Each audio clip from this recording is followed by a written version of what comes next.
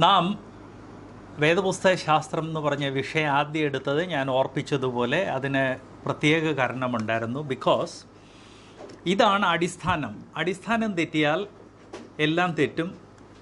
അടിസ്ഥാനം തെറ്റി എല്ലാം ഓൾമോസ്റ്റ് തെറ്റി കിടക്കുകയാണ്. അതിലൊരു ചേഞ്ച് വേണം.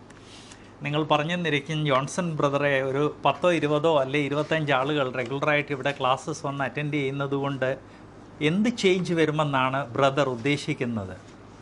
ഇന്ന് ലോകത്തിൽ നൂറ്റി അറുപത് രാഷ്ട്രങ്ങളിൽ വേർപാട് സഭയുണ്ട്. ഈ നൂറ്റി അറുപത് രാഷ്ട്രങ്ങളിൽ വേർപാട് സഭ തുടങ്ങാൻ കാരണമായത് ഇതുപോലുള്ള ഒരു ബൈബിൾ ക്ലാസ് ആയിരുന്നു. അതിൽ ഇത്രയും ആളുകൾ പോലും ഇല്ലായിരുന്നു. എന്നാൽ ദൈവം അവരെ ഉപയോഗിച്ചു. അത് വലിയൊരു മൂവ്മെന്റ് ആയിട്ട് മാറി വേൾഡ് വൈഡ് ഒരു മൂവ്മെന്റ് ആയിട്ട് മാറി. അതുകൊണ്ട് നമ്മളൊരു കാര്യത്തെ അണ്ടർ എസ്റ്റിമേറ്റ് ചെയ്യാൻ പാടില്ല. കർത്താവ് വരാൻ താമസിച്ചെങ്കിൽ ഇവിടുള്ള ഈ ബ്രദേഴ്സ് ആൻഡ് സിസ്റ്റേഴ്സ് ആയിരിക്കും ചിലപ്പം ഒരു ഫ്രഷ് നവീകരണത്തിന്റെ ഫൗണ്ടേഷനായി തീരുന്നത് അതിന് പ്രശ്നം what exactly is the problem പ്രശ്നം എന്ത്? പരിഹാരം എന്ത്? എന്ന് നമ്മൾ വ്യക്തമായിട്ട് മനസ്സിലാക്കിയിരിക്കണം. നമുക്കുള്ളൊരു തെറ്റിദ്ധാരണ നമ്മുടെയൊക്കെ ഡയഗ്നോസിസ് വളരെ ആക്യുറേറ്റ് ആണ് പരിഹാരം ആക്യുറേറ്റ് ആണെന്ന് പലപ്പോഴും നമ്മുടെ ഡയഗ്നോസിസ് വാട്ട് എക്സാക്ട്ലി പ്രോബ്ലം എന്ത് എന്നുള്ളത് ശരിയല്ല. എന്ന് മാത്രമല്ല അതിന്റെ ഡയഗ്നോസിസും പലപ്പോഴും ശരിയല്ല എന്നുള്ളത് നമ്മൾ മനസ്സിലാക്കണം. വളരെ ഫേമസ് ഒരു നോർത്ത് ഇന്ത്യൻ സ്റ്റോറിയുണ്ട് ഒരു വളരെ ഫേമസ് ആയിട്ടുള്ള ഒരു രാജാവ് ആയിരക്കണക്കിന് വർഷങ്ങൾക്ക് മുൻപുള്ള സംഭവമാണ്. രാജാവിന് വലിയ ഇൻസൾട്ട് തോന്നി. നമ്മുടെ രാജ്യത്തുള്ള പൊടി അത് നാം എങ്ങോട്ട് പോയി കഴിഞ്ഞാലും അത് നമ്മുടെ കാലയിൽ ആകുന്നു. അതെ അതിനൊരു പരിഹാരമുണ്ടാകണം. ഓ അതിന് രാജാവ് ആളുകളെ വിളിച്ചു എല്ലാവരും വന്ന് ഓരോരുത്തർ അവരവരുടെ പരിഹാരം പറഞ്ഞു. അപ്പം അവിടെ മന്ത്രിമാരുടെ ഇടയ്ക്ക് വലിയ ബുദ്ധിമാനായിട്ടുള്ള ഒരാളുണ്ടായിരുന്നു. മന്ത്രി പറഞ്ഞു അതിന് ഒരു പ്രശ്നമില്ല മഹാരാജാവേ. ഈ പൊടി മുഴുവൻ തൂത്ത് കളഞ്ഞാൽ പിന്നെ നമ്മുടെ കാലയിൽ പൊടി പറ്റത്തില്ല. അങ്ങനെ പറഞ്ഞു കഴിഞ്ഞപ്പോൾ രാജാവ് പതിനായിരക്കണക്കിന് ആളുകളെ ചൂലും കൊണ്ട് രാജ്യത്തിൽ മുഴുവൻ വിട്ടു. രാജ്യം മുഴുവൻ തൂത്തു. പൊടിയുടെ വലിയ ക്ലൗഡ്സ് പൊങ്ങി എല്ലാവരും തുമ്മി ജലദോഷമായി ആകെ പ്രശ്നമായി. അങ്ങനെ വന്നു കഴിഞ്ഞപ്പോൾ മറ്റൊരാൾ പറഞ്ഞു ആ എനിക്കല്ലെങ്കിലും അറിയാമായിരുന്നു ഈ ഇതല്ല പരിഹാരം. നമുക്ക് കിണറുകളിൽ നിന്ന് ആയിരക്കണക്കിന് പതിനായിരക്കണക്കിന് കിണറുകളിൽ നിന്ന് വെള്ളം കോരി ഈ രാജ്യം മുഴുവൻ വെള്ളം തളിച്ച് നമുക്ക് തണുപ്പിക്കാം. അപ്പോൾ അങ്ങനെ ചൂട് സമയത്ത് അവിടെ വെള്ളം പാടില്ലാത്ത സമയത്ത് രാജ്യത്തുണ്ടായിരുന്ന പൊടി മുഴുവൻ സപ്രസ് ചെയ്യാൻ വേണ്ടി ഓരോ ദിവസം ഓരോ ലൊക്കേഷനിൽ പതിനായിരക്കണക്കിന് കുടം വെള്ളം ഒഴിച്ചു കൂടി രാജ്യം മുഴുവൻ ചള്ളയായി. ആൻഡ് പ്രശ്നമായി. അത് കഴിഞ്ഞ് അപ്പം മൂന്നാമത് ഒരാൾ പറഞ്ഞ് എനിക്കറിയാമായിരുന്നു ഇവർക്ക് രണ്ടുപേർക്കും ഒന്നും അറിയത്തില്ല. ഞാൻ പറയുന്നത് നിങ്ങൾ കേട്ട് കഴിഞ്ഞാൽ പ്രശ്നത്തിന് പരിഹാരമുണ്ടാകും. ഈ രാജ്യത്ത് എവിടെല്ലാം മണ്ണുണ്ട് അത് മുഴുവൻ തോലും കൊണ്ടങ്ങ് കവർ ചെയ്യുക. അതോടെ ഈ രാജ്യത്തിലുള്ള മണ്ണ് മുഴുവൻ പൊടി മുഴുവൻ സപ്രസ് ആകും. പിന്നെ നമ്മുടെ കാലേ പൊടി പറ്റത്തില്ല. അപ്പോൾ അവരെ ആ രാജ്യത്തിൽ അയൽ രാജ്യങ്ങളിൽ നിന്ന് ലഭിച്ചിട്ടുള്ള തോൽ മുഴുവൻ കൊണ്ടുവന്ന് രാജ്യത്തുള്ള ഗ്രൗണ്ട് മുഴുവൻ കവർ ചെയ്തു. ഒടുവിൽ കവർ ചെയ്യാൻ തോലില്ലാതായി മാറി എന്ന് മാത്രമല്ല കൃഷി ചെയ്യുന്നവർ അവരുടെ ഇടയ്ക്ക് വലിയ വിലാപമുണ്ടായി. ഞങ്ങളുടെ കൃഷിഭൂമിയെല്ലാം പൊടി സപ്രസ് ചെയ്യുക എന്നും പറഞ്ഞ് ഈ രാജ്യം മുഴുവൻ ഇവിടെയുള്ള ലാൻഡ് മുഴുവൻ കവർ ചെയ്യുക എന്ന് പറഞ്ഞു. ഇത് മൂന്നും മന്ത്രിമാരായിരുന്നു പറഞ്ഞെന്ന് ഞാൻ ഓർപ്പിക്കട്ടെ. അങ്ങനെ അവർ ശ്രമിച്ചതെല്ലാം സപ്രസ്സായി അതെല്ലാം ഫെയിലായി കഴിഞ്ഞപ്പോൾ ഒരു ദിവസം ഒരു ചെരുപ്പ് കുത്തി രാജാവിന്റെ കൊട്ടാരത്തിൽ വന്നു. നോർത്ത് ഇന്ത്യൻ സൊസൈറ്റിയിൽ സോഷ്യലി ഏറ്റവും ലോ ലെവലിലുള്ള ആളുകളാണെന്ന് ഞാൻ ഓർപ്പിക്കട്ടെ. അവൻ വന്നു പറഞ്ഞ് മഹാരാജാവെ എനിക്കൊരു കാര്യം പറയാനുണ്ട്. ഈ രാജ്യത്തുള്ള പൊടി മുഴുവൻ സപ്രസ് ചെയ്യുന്നതിന് പകരം അങ്ങയുടെ കാലിൽ പൊടി പറ്റാതിരിക്കാൻ കാൽ കവർ ചെയ്താൽ മതിയല്ലോ. അപ്പോഴത്തേക്ക് മന്ത്രിമാരൊക്കെ ഹേ ഇവന് ചെരുപ്പ് കുത്തി ഇവൻ എന്തറിയാം? അല്ലെങ്കിൽ ഈ ബുദ്ധിഹീനൻ അങ്ങനെ ബുദ്ധിയില്ലാത്ത കാര്യങ്ങളാണ് പറയുന്നതെന്നെല്ലാം മന്ത്രിമാർ ഓരോരുത്തർ പറഞ്ഞെങ്കിൽ ആ ചെരുപ്പ് കുത്തി ഒരു രീതിയിലും ഡിസ്കറേജ് ആകാതെ കയ്യിൽ കൊണ്ടുവന്നിരുന്ന തോൽ കൊണ്ടുവന്ന് രാജാവിന്റെ കാലിന്റെ അളവ് അങ്ങോട്ടെടുത്ത് ക്വിക്ക്ലി നല്ല രണ്ട് ഷൂസ് ഉണ്ടാക്കി ആ ഷൂസ് രാജാവിനെ ഇടിയിച്ചു. എന്നിട്ട് രാജാവിനോട് പറഞ്ഞു അങ്ങ് പൊടിയിൽ കൂടെ ഒന്ന് നടന്നു നോക്കാൻ പറഞ്ഞു. അപ്പോൾ രാജാവ് അവിടെ ഏറ്റവും പൊടിയുള്ള പോർഷനിൽ കൂടെ അങ്ങോട്ടും ഇങ്ങോട്ടും എല്ലാം നടന്ന് തിരിച്ചു വന്ന് ഈ ചെരുപ്പ് കുത്തി ചെരുപ്പ് ഊരി കഴിഞ്ഞപ്പോൾ കാലിൽ പൊടിയില്ല. അയ്യോ രാജാവ് പറഞ്ഞു ഇതാണ് പരിഹാരം. അപ്പോഴത്തേക്ക് മന്ത്രിമാർ പറഞ്ഞു ഞങ്ങൾക്കും അറിയാമായിരുന്നു ഞങ്ങൾക്കും അറിയാമായിരുന്നു ഞങ്ങൾ പർപ്പസ്ലി ചെരുപ്പ് കുത്തിക്ക് ഒരു ചാൻസ് കൊടുക്കാൻ വേണ്ടിയായിരുന്നു പറഞ്ഞതെന്ന്. പ്രശ്നമെന്ത്? പരിഹാരമെന്ത്? ഇന്ന് നമ്മുടെ ആത്മീയ ലോകത്തിലും ഇത് തന്നെയാണ് നടക്കുന്നത്. പ്രശ്നം എന്ത് എന്ന് മനസ്സിലാക്കാത്തതിന്റെ കാരണം കൊണ്ട് പരിഹാരം എന്ത് എന്ന് നാം മനസ്സിലാക്കുന്നില്ല. നാം ഉപരിപ്ലവമായിട്ടുള്ള കാര്യങ്ങളൊക്കെ സഭയ്ക്ക് വേണ്ടി ബൈബിളിന് വേണ്ടി ബൈബിൾ ടീച്ചിങ്ങിന് വേണ്ടി ചെയ്യുന്നു.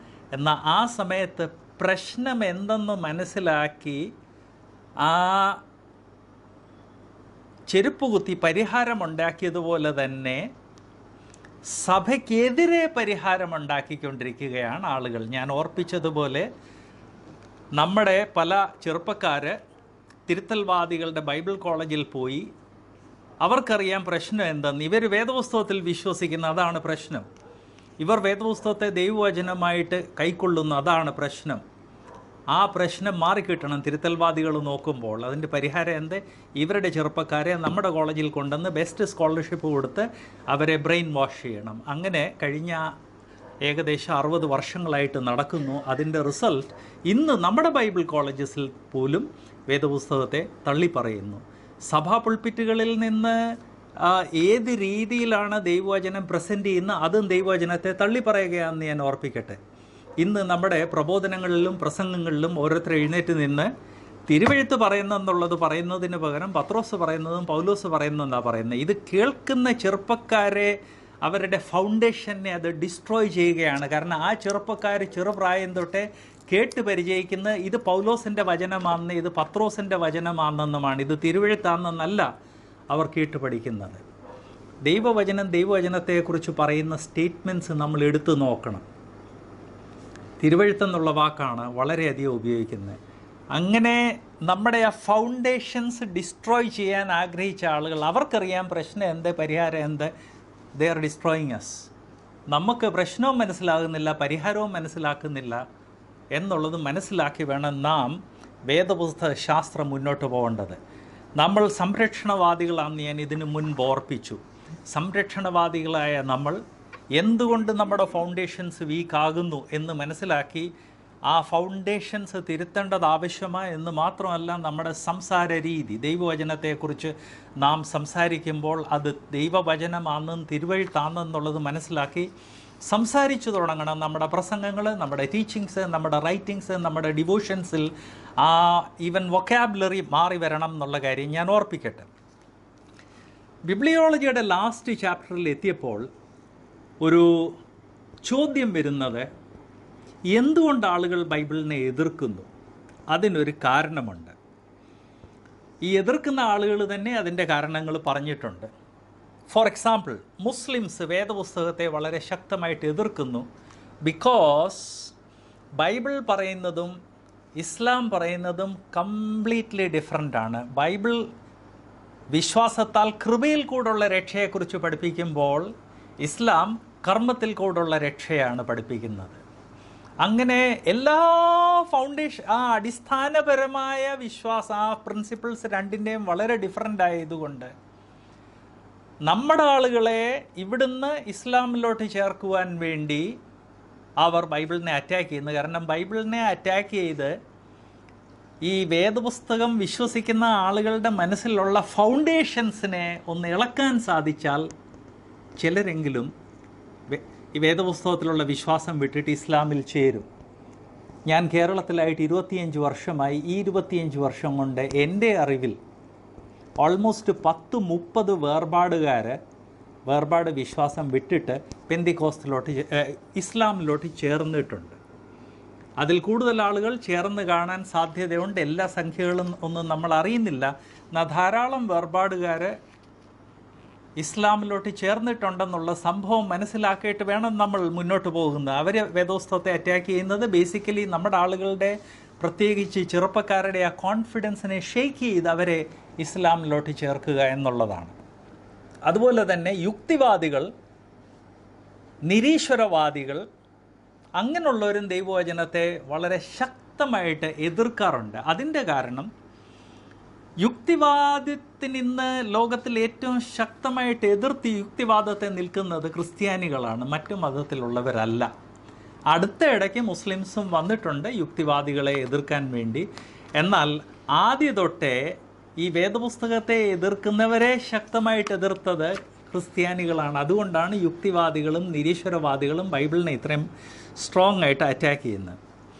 ഇപ്പം ഈ രണ്ടായി ഈ ഇരുപത്തിയൊന്നാം നൂറ്റാണ്ടിൽ നമുക്ക് കാണാവുന്ന മറ്റൊരു പ്രതിഭാസം കുറേ ക്രിസ്ത്യാനികളും വേദോത്സവത്തെ അറ്റാക്ക് ചെയ്യുന്നുണ്ട്. ക്രിസ്ത്യാനികൾ എന്തുകൊണ്ട് വേദോത്സവത്തെ അറ്റാക്ക് ചെയ്യുന്നു? ബിക്കോസ് അതിൽ ക്രിസ്ത്യാനികളുടെ ഇടയ്ക്ക് പിന്മാറ്റത്തിലുള്ളവരുടെ സംഖ്യ കൂടിക്കൊണ്ടിരിക്കുന്നു.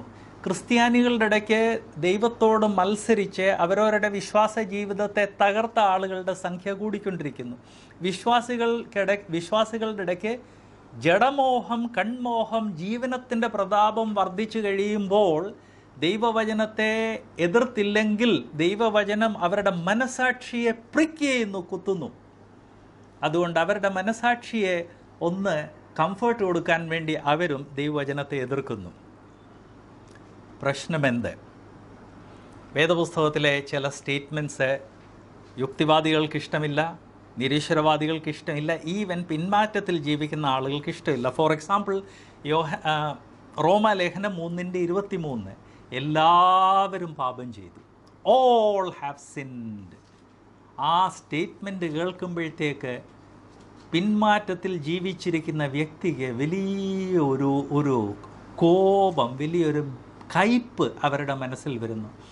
നിങ്ങൾ ചോദിച്ചെന്നിരിക്കും ബ്രദറെ ആഫ്റ്റർ ഓൾ അവർ പിന്മാറ്റത്തിൽ ജീവിക്കുവാണ് എന്നാലും അവർ രക്ഷിക്കപ്പെട്ടവരല്ലേ? നിങ്ങൾ നമ്മൾ മനസ്സിലാക്കേണ്ട കാര്യം ഒരു വിശ്വാസി ചിന്തിക്കുന്ന രീതിയിലല്ല പിന്മാറ്റത്തിൽ ജീവിക്കുന്ന വിശ്വാസി ചിന്തിക്കുന്നത്. പിന്മാറ്റത്തിൽ ജീവിക്കുന്ന വിശ്വാസിയുടെ ചിന്താഗതി അത് വളരെ സ്ട്രേഞ്ച് ആണ്.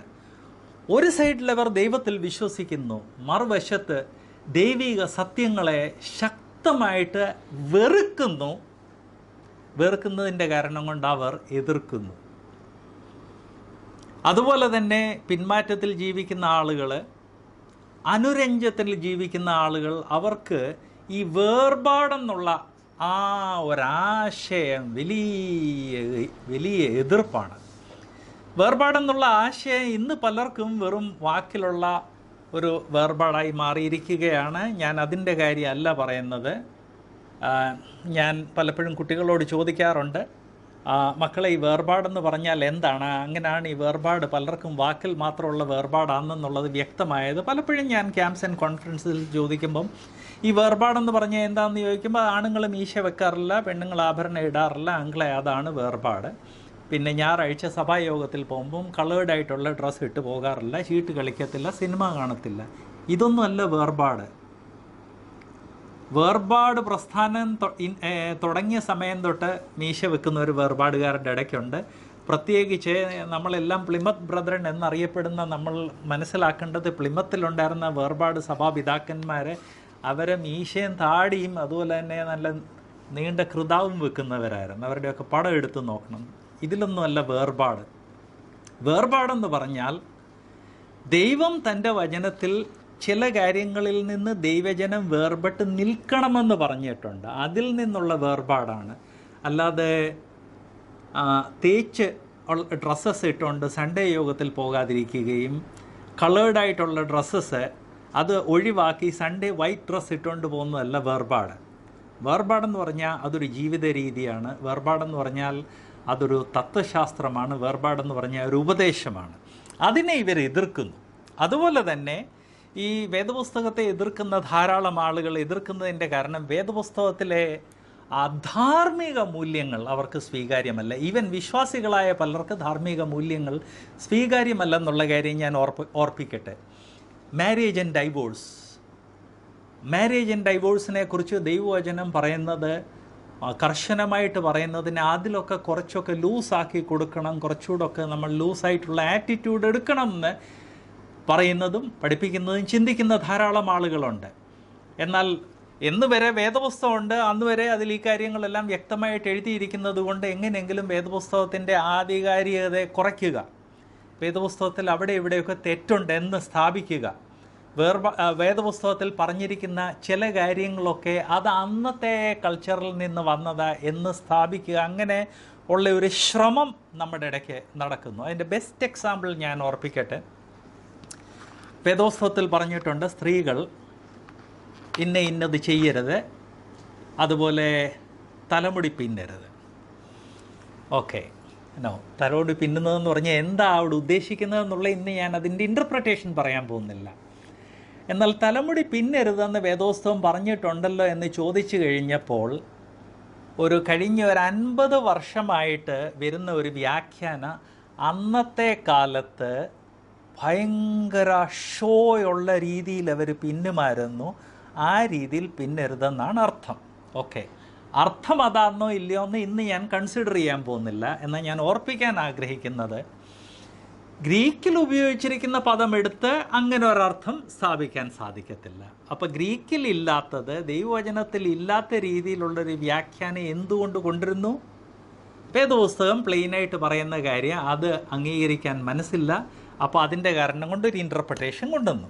ഓക്കെ അപ്പോൾ അങ്ങനെ വേദപുസ്തകത്തിൽ ഒരു കാര്യം അത് അന്നത്തെ സാഹചര്യത്തെക്കുറിച്ചാണെങ്കിൽ പിന്നെ ചോദ്യം വരുന്ന പെണ്ണുങ്ങൾ സഭയിൽ മിണ്ടാതിരി ആ അത് അന്നത്തെ കാലത്ത് പെണ്ണുങ്ങൾ സഭയിലിരുന്ന് കണ്ടമാനം സംസാരിക്കുമായിരുന്നു. അതുകൊണ്ട് അന്നത്തെ കൾച്ചറുമായിട്ട് ബന്ധപ്പെട്ടാണ് ദൈവവചനം പറഞ്ഞത്. ദൈവവചനം എന്നുള്ള വാക്ക് അതുകൊണ്ടാണ് പൗലോസ് അങ്ങനെ പറഞ്ഞിരിക്കുന്നത്. സോ ഇതെല്ലാം പരസ്പരം ലിങ്ക്ഡ് ആണെന്ന് ഞാൻ ഓർപ്പിക്കട്ടെ. ഇത് തിരുവഴുത്താണെന്നുള്ളത് നമ്മൾ റിപ്പീറ്റഡ്ലി അവരവരെ തന്നെ ഓർപ്പിക്കുന്നതിന് വരെ ഇത് പൗലോസ് പറയുന്നു ഇത് പത്രോസ് പറയുന്നു ഇത് യാക്കോബ് പറയുന്നു എന്ന് ആ പദപ്രയോഗം വന്നു കഴിഞ്ഞപ്പോൾ ഇന്നത് അത് പത്രോസ് പറഞ്ഞത് അത് അന്നത്തെ കാലത്ത് പെണ്ണുങ്ങൾ വലിയ ഡിസൈൻസ് ഒക്കെ ആയിരുന്നു അതുകൊണ്ടാണ് പറഞ്ഞത്.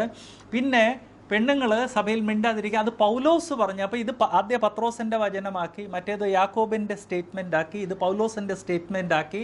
അത് കഴിഞ്ഞ് വേദപുസ്തകത്തിലെങ്ങും ഇല്ലാത്ത കുറേ കൾച്ചർ അവിടെ കൊണ്ടുവന്നിട്ട് ആ കൾച്ചർ ഉപയോഗിച്ച് വ്യാഖ്യാനിച്ചു. What is the result doctor പത്ത് മരുന്ന് പ്രിസ്ക്രൈബ് ചെയ്ത് കഴിഞ്ഞാൽ അതിൽ ഒന്ന് രണ്ട് മരുന്ന് അവരവരുടെ ഇഷ്ടപ്രകാരം എടുക്കാതിരിക്കുന്ന ആളുകളുണ്ട്. ക്രമേണ ഡോക്ടർ കൊടുക്കുന്ന ഒരു മരുന്ന് അവരെടുക്കാതെയാകും എന്നുള്ള കാര്യം ഞാൻ ഓർപ്പിക്കട്ടെ. ഈ ഫൗണ്ടേഷൻ ക്രാക്ക് ചെയ്യുന്നത് അത് ഫൗണ്ടേഷൻ കംപ്ലീറ്റ്ലി തകർന്നല്ല.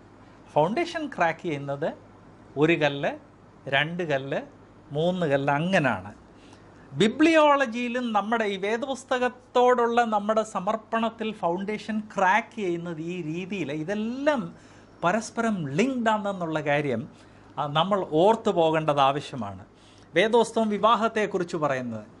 ഇപ്പം നമ്മുടെ ഇടയ്ക്ക് പലരും പറഞ്ഞു തുടങ്ങിയിട്ടുണ്ട്. അത് അന്നത്തെ കൾച്ചറിന് അത് അങ്ങനെ പറയേണ്ടത് ആവശ്യമായിരുന്നു. ഇന്നത്തെ കൾച്ചറായിരുന്നു അല്ലെന്നുള്ളത് നമ്മുടെ ഓൺ ബൈബിൾ ടീച്ചേഴ്സ് പുൾപിറ്റിൽ നിന്ന് പറഞ്ഞിട്ടുണ്ട്. പറഞ്ഞു തുടങ്ങിയിട്ടുണ്ട്. അതുപോലെ തന്നെ വേദപുസ്തകം സെക്സ്വൽ മൊറാലിറ്റി ലൈംഗിക ജീവിതത്തിന്റെ ധാർമ്മികതയെക്കുറിച്ച് വ്യക്തമായിട്ട് പറയുന്നുണ്ട്. നമ്മുടെ പല ടീച്ചേഴ്സ് അത് വളരെ ഡൈല്യൂട്ട് ചെയ്ത് സംസാരിച്ചു തുടങ്ങിയിട്ടുണ്ട്. ക്രൈം ആൻഡ് പണിഷ്മെന്റിനെ കുറിച്ച് സംസാരിക്കുമ്പോൾ ഞാൻ പലർ പഠിപ്പിക്കുന്നത് കേട്ടിട്ടുണ്ട് ആ അത് അന്നത്തെ കാലത്ത് മനുഷ്യന് എഡ്യൂക്കേഷൻ ഇല്ലായിരുന്നു കൾച്ചർ ഇല്ലായിരുന്നു. അതിന്റെ കാരണം കൊണ്ട് എവിടെയെങ്കിലും ഒരു ക്രൈം ഉണ്ടെങ്കിൽ അതിന് പണിഷ്മെന്റ് കൊടുക്കണമായിരുന്നു. ഇന്ന് ക്രൈമിന് പണിഷ്മെന്റിന്റെ ആവശ്യമല്ല. ഇന്ന് ക്രൈം ആരെങ്കിലും ചെയ്യുവാന്ന് കൗൺസിൽ ചെയ്താൽ മതി. അതുപോലെ തന്നെ ഇപ്പം കേരളത്തിൽ കേരളത്തിലല്ല ഇന്ത്യയിൽ അടുത്ത ഇടയ്ക്ക് വലിയ ചർച്ചയ്ക്ക് വിധേയമായ രണ്ട് വിഷയങ്ങളാണല്ലോ. ഇമ്മോറാലിറ്റിക്ക് പണിഷ്മെന്റ് കൊടുക്കണോ വേണ്ട? രണ്ടാമത്തേത് സ്വവർഗഭോഗം സ്വവർഗ വിവാഹം അത് ശരിയോ തെറ്റോ? കോടതി ഇത് രണ്ടിനെ അനുകൂലിച്ചാണ് വിധി പ്രഖ്യാപിച്ചിരിക്കുന്നത്. കോടതി അങ്ങനെ വിധി പ്രഖ്യാപിക്കുന്നതിന് മുൻപ് തന്നെ ഇതിലൊന്നും വലിയ കാര്യമില്ല. അതൊക്കെ അവരവരുടെ ഇഷ്ടപ്രകാരം അവർ ജീവിക്കുന്നു. സഭ എന്തിനാണ് മറ്റുള്ളവരുടെ വ്യക്തി ജീവിതത്തിൽ കൈ കടത്തുന്നത്? ഇത് പല ചെറുപ്പക്കാരും അത്ര ചെറുപ്പമല്ലാത്ത നമ്മുടെ പല ചിന്തകന്മാർ പറഞ്ഞ് ഞാൻ കേട്ടിട്ടുണ്ട്. എന്നോട് ചോദിച്ചിട്ടുള്ള വിഷയമാണ് അച്ഛാ രണ്ടുപേര് അവരുടെ ഇഷ്ടപ്രകാരം എന്തെങ്കിലും ചെയ്യുന്നെങ്കിൽ സഭയ്ക്ക് എന്നാ ചെലവ്? സഭയ്ക്ക് എന്നാ പ്രശ്നം? That is their personal affair ഇതെല്ലാം പരസ്പരം ലിങ്ക്ഡ് ആയിട്ടുള്ള വിഷയമാണ്. ഇതെല്ലാം ചേഞ്ചസ് വരികയാണ് എന്നുള്ള കാര്യം ഞാൻ ഓർപ്പിക്കട്ടെ. ലോ ഇപ്പം അതിനെ ഫേവർ ചെയ്യുന്നതിന്റെ കാരണം കൊണ്ട് നാളെ നമ്മുടെ ഏതെങ്കിലും സഭയിൽ ഉള്ള ഒരു യുവാവ് അല്ലെ യുവതി? ആ യുവാവ് വന്ന് മൂപ്പന്മാരോട് പറയുവാണ് എനിക്ക് ഇന്ന യുവാവിനെ വിവാഹം കഴിപ്പിച്ചു തരണം. അല്ലെങ്കിൽ ഒരു യുവതി വന്ന് പറയുകയാണ് എനിക്ക് ഇന്ന യുവതിയെ വിവാഹം കഴിപ്പിച്ച് തന്ന് കഴിപ്പിച്ചു തരണമെന്ന് പറഞ്ഞു കഴിഞ്ഞാൽ സഭയുടെ മൂപ്പന്മാർക്ക് എക്സ്ക്യൂസ് ഇല്ലാത്ത അവസ്ഥയിലോട്ട് എത്തിക്കൊണ്ടിരിക്കുകയാണ്. മൂപ്പന് ഒന്നും പറയാൻ സാധിക്കത്തില്ല. ഇത് അലൗഡ് അല്ലെന്ന് പറയാൻ സാധിക്കത്തില്ല. കാരണം ഇന്ന് ഇന്ത്യയുടെ കോൺസ്റ്റിറ്റ്യൂഷൻ അലൗ ചെയ്യുന്നു ഇന്ത്യയുടെ കോൺസ്റ്റിറ്റ്യൂഷൻ അതിനെ അലൗ ചെയ്യുന്നെങ്കിൽ അതിനെ ഡിസലൗ ചെയ്യാൻ മൂപ്പന്മാർക്ക് സാധിക്കത്തില്ല. അപ്പം വേണമെങ്കിൽ കുറച്ച് സൈഡ് എക്സ്ക്യൂസസ് ഒക്കെ കൊണ്ടുവരാം. സഭയുടെ മെമ്പർഷിപ്പ് ഉള്ളവരെ മാത്രമേ ഞങ്ങൾ കല്യാണം കഴിപ്പിക്കത്തുള്ളൂ. അപ്പോൾ അവൻ പറയാം ഞാൻ കല്യാണം ഒരു യുവാവ് പറയുന്നത് ഞാൻ കല്യാണം കഴിക്കാനിരിക്കുന്ന ആ മറ്റേ യുവാവ് മുംബൈയിലെ ഇന്ന സഭയുടെ മെമ്പറാണ് നിങ്ങൾ പറഞ്ഞെന്നിരിക്കും വേർപാട് സഭയുടെ മെമ്പറാണെങ്കിൽ വേർപാട് സഭയുടെ മെമ്പറാണെന്ന് പറയും. Then what will you do നമ്മൾ അങ്ങനെയുള്ള ഒരു സിറ്റുവേഷനിലോട്ട് മാറിയിരിക്കുക. മാറിയിരിക്കും മാറിക്കൊണ്ടിരിക്കുക. പ്രശ്നം അവിടെ അല്ല ഞാൻ പറയാൻ വന്ന പ്രശ്നം അങ്ങനെയുള്ളൊരു വിവാഹം നടത്തി കൊടുത്തില്ലെങ്കിൽ നമ്മുടെ എതിരെ നിയമ നടപടി ഉണ്ടാകുമെന്ന് മാത്രമല്ല നമ്മുടെ ആളുകൾ തന്നെ അങ്ങനെയുള്ള ലീഡേഴ്സിനെ അറ്റാക്ക് ചെയ്യും.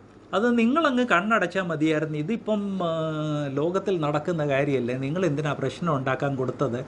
അത് അവരുടേതല്ലേ. നിങ്ങളങ്ങ് നടത്തി കൊടുത്താൽ മതിയായിരുന്നു. നടത്തി കൊടുക്കാൻ പ്രിപ്പറേഷനുള്ള ആളുകൾ നമ്മുടെ ഇടയ്ക്കുണ്ട്. അങ്ങനെയുള്ള ആരെങ്കിലും വിളിച്ച് സഭയുടെ കെയർ ഓഫിൽ അങ്ങ് നടത്തി കൊടുത്താൽ മതിയായിരുന്നെന്ന് പറയാൻ നമ്മുടെ ഇടയ്ക്ക് ആളുകളുണ്ട് എന്നുള്ള കാര്യം കൂടെ ഞാൻ ഓർപ്പിക്കട്ടെ. ഇതൊന്നും തിയറിയല്ല. ഇത് കഴിഞ്ഞ ഇരുപത്തഞ്ച് വർഷങ്ങളിൽ ഞാൻ നേരിട്ട് ഡയറക്റ്റ്ലി എക്സ്പീരിയൻസ് ചെയ്ത കാര്യങ്ങളാണ് അത് ഇനി ഓപ്പണായിട്ട് വരാനിരിക്കുന്നതേ ഉള്ളൂ. ഇതിന്റെ എല്ലാം റൂട്ട് കോസ് ദൈവവചനത്തോടുള്ള നമ്മുടെ കമ്മിറ്റ്മെന്റ് ലൂസായതാണ് അവർ മനസ്സിലാക്കി പ്രശ്നമെന്ത് എന്ന് പറഞ്ഞാൽ അവർക്ക് അവരുടെ ഇഷ്ടപ്രകാരം ജീവിക്കാൻ സാധി സാധിക്കാത്തത് എന്തുകൊണ്ട്? തടസ്സം നിൽക്കുന്നത് വേദപുസ്തകത്തെ പൂർണമായിട്ട് വിശ്വസിച്ച് വേദപുസ്തകത്തോട് പൂർണ കമ്മിറ്റ്മെന്റ് ഉള്ള വിശ്വാസികളാണ് ഇതിന് കാരണം. അതാണ് അവരുടെ പ്രശ്നം. പരിഹാരം എന്ത്? ഇവരുടെ ഫൗണ്ടേഷൻ അങ്ങ് ഡിസ്ട്രോയ് ചെയ്യുക. ആൻഡ് ദേ ആർ ഡിസ്ട്രോയിങ് അവർ ഫൗണ്ടേഷൻസ് എന്ന് ഞാൻ ഓർപ്പിക്കട്ടെ. അതിന് ചില സ്റ്റാൻഡേർഡ് സ്ട്രാറ്റജീസ് ഉണ്ട്. യുദ്ധതന്ത്രമുണ്ട്. നമ്മൾ മനസ്സിലാക്കുന്നില്ല എന്നാൽ അവർ മനസ്സിലാക്കുന്നുണ്ട്. കഴിഞ്ഞ അയ്യായിരം വർഷങ്ങളായിട്ട് കഴിഞ്ഞ അഞ്ച് സഹസ്രാബ്ദങ്ങളിൽ കോടതിയിൽ യൂസ് ചെയ്യപ്പെടുന്നതാണ് അതിലെ ഒന്നാമത്തെ സ്ട്രാറ്റജി ആ സ്ട്രാറ്റജി ഇങ്ങനെയാണ് ഒരാൾ എഴുന്നേറ്റ് നിന്ന് വിറ്റ്നസ് ആയിട്ട് വരുന്നു. ആ വിറ്റ്നസ് ചിലപ്പം ദൃക്സാക്ഷിയായിരിക്കും. അപ്പം ദൃക്സാക്ഷിയായ ആ വിറ്റ്നസ് പറയുന്ന കാര്യങ്ങൾ കോടതി അംഗീകരിക്കാതിരിക്കാൻ കോടതി അതിനെ റിജക്റ്റ് ചെയ്യാൻ വേണ്ടി എന്ത് ചെയ്യണം? ആ വിറ്റ്നസിന്റെ ഇന്റഗ്രിറ്റി സമഗ്രത അത് ചോദ്യം ചെയ്യുക. കണ്ടിട്ടുള്ള ഇല്ലയോ എന്നുള്ളതല്ല ഇവിടെ വിഷയം. ഈ വിറ്റ്നസ് ഏതെങ്കിലും കാരണം കൊണ്ട് തന്റെ ജീവിതത്തിൽ നുണ പറഞ്ഞിട്ടുണ്ടോ? തെറ്റ് പറഞ്ഞിട്ടുണ്ടോ? തനിക്ക് തെറ്റ് പറ്റിയിട്ടുണ്ടോ? താൻ ഈ രീതിയിലുള്ള എന്തെങ്കിലും ചെയ്തിട്ടുള്ളോ? അങ്ങനെ എന്തെങ്കിലും ഒരു കാര്യം എടുത്തിട്ട് ആ വ്യക്തിയുടെ വിറ്റ്നസ് ഇല്ലാതെയാക്കുക. സിമ്പിൾ എക്സാമ്പിൾ ബ്രിട്ടീഷേഴ്സ് ഇന്ത്യയിലുണ്ടാക്കിയ നിയമത്തിനനുസരിച്ച് ഇപ്പോൾ ഒരു സ്ത്രീ അവളെ പീഡിപ്പിച്ചെന്നും പറഞ്ഞ് കോടതിയെ സമീപിച്ചാൽ ബ്രിട്ടീഷേഴ്സ് ഉണ്ടാക്കിയിട്ടിരുന്ന നിയമം അതിപ്പം കോടതികൾ നാച്ചുറലി അത് തെറ്റാണെന്നുള്ളത് മനസ്സിലാക്കി അതിനെ ഇഗ്നോർ ചെയ്ത് തുടങ്ങി. എന്നാൽ ഒരു സ്ത്രീ എന്നെ ഇന്ന ആൾ പീഡിപ്പിച്ചെന്നും പറഞ്ഞൊരു കേസിന് പോയി കഴിഞ്ഞാൽ ആ സ്ത്രീ ഇതിനു മുൻപ് തന്നെ ഇമ്മോറലായിട്ട് ജീവിച്ചിരുന്ന ഒരു വ്യക്തിയാണെന്ന് തെളിയിച്ചു കഴിഞ്ഞാൽ പിന്നെ അവിടെ കംപ്ലൈന്റിനെ കോർട്ട് ആക്സെപ്റ്റ് ചെയ്യത്തില്ല. എന്ന് പറഞ്ഞാൽ അവിടെ എതിരെ അവർക്ക് അവക്കെതിരെ ഒരാൾ ഒരു ക്രൈം ചെയ്തിട്ടുണ്ട്. ആ ക്രൈമിന് വേണ്ടി അവക്ക് നീതി ന്യായ പീഠത്തിൽ നിന്ന് നീതി ലഭിക്കണമെന്നും പറഞ്ഞ് അവൾ ചെന്ന് കഴിഞ്ഞാൽ പോലും ബ്രിട്ടീഷ് നിയമത്തിനനുസരിച്ച് അവിടെ സ്വന്തം ജീവിതം ക്വസ്റ്റ്യനബിൾ ആണെന്ന് പറഞ്ഞു കഴിഞ്ഞാൽ പിന്നെ അവക്കെതിരെ ചെയ്തിട്ടുള്ള ക്രൈം കോടതി അതിനുവേണ്ടി ക്രൈം ചെയ്ത ആളിനെ ശിക്ഷിക്കത്തില്ല. വൈ? കഴിഞ്ഞ അയ്യായിരം വർഷങ്ങളായിട്ട് ഈ ജൂറിസ്പ്രൂഡൻസിലുള്ള ഒരു ഒരു പ്രാക്ടീസാണ് ഒരാടെ ആ ടെസ്റ്റ് മണി ആ ആളിന്റെ വിറ്റ്നസ്സിനെ ഡിസ്ക്രെഡിറ്റ് ചെയ്ത് കഴിഞ്ഞാൽ പിന്നെ ആ ആൾ മറ്റെന്ത് പറഞ്ഞു കഴിഞ്ഞാൽ അത് ആളുകൾ അംഗീകരിക്കത്തില്ല. വേ ഈവൻ ജസ്റ്റിസ് നൽകത്തില്ല. ഇത് തന്നെയാണ് ബൈബിളിനെതിരെ ആളുകൾ ഉപയോഗിക്കുന്ന ഒന്നാമത്തെ തന്ത്രം. ബൈബിൾ നിറച്ച് ശാസ്ത്രീയ മിസ്റ്റേക്സ് ആണ്. ശാസ്ത്ര തലത്തിലുള്ള മിസ്റ്റേക്കാണ് നിങ്ങളൊക്കെ കേട്ടിട്ടുണ്ടായിരിക്കും. ഞാൻ കോളേജ് ലൈഫ് തൊട്ട് കേട്ട് വരുന്ന ഒരു കാര്യം ബൈബിൾ നിറച്ച് സയന്റിഫിക് എറേഴ്സ് ആണ്. എറേഴ്സ് ഉണ്ട് ഇല്ലെന്നുള്ളത് അത് നമുക്ക് പിന്നെ കൺസിഡർ ചെയ്യാം. എന്നാൽ ബൈബിളിന്റെ അകത്ത് ശാസ്ത്ര സംബന്ധമായ തെറ്റുകളുണ്ടെങ്കിൽ അബദ്ധങ്ങളുണ്ടെങ്കിൽ പിന്നെ ബൈബിൾ നമുക്ക് വിശ്വസിക്കാവുന്ന ഒരു വിറ്റ്നസ്സാണ് ബൈബിൾ ആക്ച്വലി ദൈവത്തിന്റെ ക്രിയേഷനെ കുറിച്ചുള്ള ഒരു രേഖയാണ്. എന്നാൽ അതിൽ പറഞ്ഞിരിക്കുന്ന ശാസ്ത്രീയ കാര്യങ്ങളിൽ തെറ്റുണ്ടെങ്കിൽ പിന്നെ ബൈബിൾ വിശ്വസിക്കേണ്ട ആവശ്യമില്ല. ഉപദേശ കാര്യത്തിലും ബൈബിൾ വിശ്വസിക്കേണ്ട ആവശ്യമില്ല എന്നാണ് വെപ്പ്. അതിനു വേണ്ടിയാണ് ബൈബിളിൽ ധാരാളം സയന്റിഫിക് എറേഴ്സ് ഉണ്ടെന്നും പറഞ്ഞ് ഓരോരുത്തരും മുന്നോട്ട് വരുന്നത്. അതുപോലെ ബൈബിളിലുള്ള ഹിസ്റ്ററി അതിലെന്തെങ്കിലും മിസ്റ്റേക്ക് ഉണ്ടെങ്കിൽ പിന്നെ ബൈബിൾ പറയുന്ന ഉപദേശം വിശ്വസിക്കേണ്ട ആവശ്യമില്ല. കാരണം ബൈബിളിലെ ഉപദേശവും ഹിസ്റ്ററിയും കൂടെ സെപ്പറേറ്റ് ചെയ്യാൻ സാധിക്കും. ഏതെങ്കിലും രീതിയിൽ ബൈബിളിലുള്ള ഉപദേശത്തെയും ബൈബിളിലുള്ള ഹിസ്റ്ററിയെ സെപ്പറേറ്റ് ചെയ്യാൻ സാധിക്കും. ഫോർ എക്സാമ്പിൾ ഏതൻ തോട്ടം അതൊരു ഹിസ്റ്റോറിക്കൽ ഒരു സംഭവമല്ലായിരുന്നെങ്കിൽ ആദാമു ഹൗവ എന്നും പറഞ്ഞ ഒരു പേർ അവിടെ ഇല്ലായിരുന്നു. അവർ പാപം ചെയ്തിട്ടില്ലെങ്കിൽ പിന്നെ വേദപുസ്തകം മനുഷ്യന്റെ ദൈവസൃഷ്ടി പാപം വീഴ്ച ക്രിസ്തുവിനെക്കുറിച്ചുള്ള പ്രോമിസ് ദൈവം ഒരു സമൂഹത്തെ തിരഞ്ഞെടുത്ത് ഇത് കംപ്ലീറ്റ്ലി ഡിസ്ക്രെഡിറ്റ് ആകും. അങ്ങനെയെങ്കിൽ പിന്നെ ബി സി സീറോയിൽ അല്ലെ ബി സി നാനൂറിൽ യേശു ക്രിസ്തു മനുഷ്യരൂപത്തിൽ ഈ ലോകത്തിൽ വരേണ്ട ആവശ്യമില്ല. മറ്റ് മതങ്ങളും ബൈബിളും തമ്മിലുള്ള ഒരു വലിയൊരു അന്തരം. മറ്റ് മതങ്ങളുടെ ഉപദേശം അവരുടെ തത്വശാസ്ത്രം അത് ഹിസ്റ്ററിയിൽ അധിഷ്ഠിതമല്ല. ബൈബിളിന്റെ ഡോക്ട്രീൻ ബൈബിളിന്റെ ഫിലോസഫി ബൈബിളിന്റെ ഉപദേശങ്ങൾ അത് നൂറ് ശതമാനം ഹിസ്റ്ററിയിൽ അധിഷ്ഠിതമാണെന്ന് മാത്രമല്ല ആ ഹിസ്റ്ററിയിൽ എന്തെങ്കിലും മിസ്റ്റേക്ക് ഉണ്ടെന്ന് സ്ഥാപിച്ചു കഴിഞ്ഞാൽ ആ ഹിസ്റ്ററിയുമായിട്ട് ബന്ധപ്പെട്ട ഡോക്ട്രീൻ ഇല്ല ഏതെങ്കിലും തോട്ടമില്ലായിരുന്നെങ്കിൽ പിന്നെ മനുഷ്യൻ പാപത്തിൽ അകപ്പെട്ടിട്ടില്ല. മനുഷ്യൻ പാക പാപത്തിൽ അകപ്പെട്ടിട്ടില്ലെങ്കിൽ മനുഷ്യൻ പാപിയല്ല. മനുഷ്യൻ പാപിയല്ലെങ്കിൽ രക്ഷിതാവിന്റെ ആവശ്യമില്ല. രക്ഷിതാവിന്റെ ആവശ്യമില്ലെങ്കിൽ കർത്താവായ യേശു ക്രിസ്തു ഈ ലോകത്തിൽ വരേണ്ട ആവശ്യമില്ലായിരുന്നു. ഈ രീതിയിലാണ് ചെയിൻ കിടക്കുന്നത്. അതുകൊണ്ടാണ് ബൈബിളിന്റെ ഹിസ്റ്റോറിസിറ്റിയെ ആളുകൾ അറ്റാക്ക് ചെയ്യുന്നത്. എന്ന് മാത്രമല്ല ഒരു വിറ്റ്നസിനെ ഇല്ലാതാക്കാൻ വേണ്ടി ആ വിറ്റ്നസിന്റെ ഇന്റഗ്രിറ്റി സമഗ്രതയെ ഏതെല്ലാം രീതിയിൽ അറ്റാക്ക് ചെയ്യാൻ സാധിക്കും ആ രീതിയിൽ ആളുകൾ അറ്റാക്ക് ചെയ്യും. അതിന്റെ ക്വിക്കായിട്ട് ഒന്ന് ഒന്നോ രണ്ടോ എക്സാമ്പിളേ പറയുന്നുള്ളൂ. കാരണം അപ്പോളജറ്റിക്സ് എന്നുള്ള വിഷയം നാം എടുക്കുമ്പോൾ ഇതിന്റെ ഡീറ്റെയിൽസിൽ നാം കടന്നു പോകുന്നതായിരിക്കും. ബൈബിളിന്റെ ബൈബിളിൽ പറഞ്ഞിരിക്കുന്ന ഹിസ്റ്ററി ആക്യുറേറ്റ് ഹിസ്റ്ററി അല്ല എന്ന് സ്ഥാപിക്കുവാൻ വേണ്ടി ആളുകൾ ഉപയോഗിച്ചിരുന്ന ഒരു ആർഗ്യുമെന്റാണ് വേദപുസ്തകം ഹിത്തിയരെക്കുറിച്ച് പറയുന്നു. കേംബ്രിഡ്ജ് വേൾഡ് ഹിസ്റ്ററി അത് പത്ത് വോള്യൂം ഏൻഷ്യൻ ഹിസ്റ്ററിയെക്കുറിച്ചും പത്ത് വോള്യൂം മെഡീവൽ ഹിസ്റ്ററിയെക്കുറിച്ചും പത്ത് വോള്യൂം മോഡേൺ ഹിസ്റ്ററിയെക്കുറിച്ചും പ്രൊഡ്യൂസ് ചെയ്തിരുന്ന ഈ ഗ്രന്ഥത്തിൽ കേംബ്രിഡ്ജ് ഏൻഷ്യൻ ഹിസ്റ്ററി ആയിരത്തി എണ്ണൂറുകളിൽ വളരെ വ്യക്തമായിട്ട് പറഞ്ഞിരുന്ന ഒരു കാര്യം. ബൈബിളിൽ ഹിത്യർ എന്ന് പറഞ്ഞ ഒരു ഗ്രൂപ്പിനെ കുറിച്ച് പറഞ്ഞിട്ടുണ്ട്. അങ്ങനെ ഒരു ഗ്രൂപ്പ് ഇല്ലായിരുന്നു. ബൈബിൾ എഴുതിയ ആളുകളുടെ സങ്കല്പം മാത്രമാണ്. ആയിരത്തി എണ്ണൂറ്റി തൊണ്ണൂറിനോടടുത്ത് സെയ്സ് എന്ന് പറഞ്ഞ ഒരാൾ ഹിത്യറുടെ സിറ്റി കണ്ടുപിടിച്ചു. ഹിത്യറുടെ നൂറുകണക്കിന് സ്റ്റാച്യൂസ് കണ്ടുപിടിച്ചു. എന്ന് മാത്രമല്ല റിസർച്ച് അവരങ്ങോട്ട് അവിടെ എല്ലാം ഇങ്ങനെ കുഴിച്ച് ക്ലീൻ ചെയ്ത് കഴിഞ്ഞപ്പോൾ ഹിത്യറുടെ ലൈബ്രറി തന്നെ കണ്ടുപിടിച്ചു.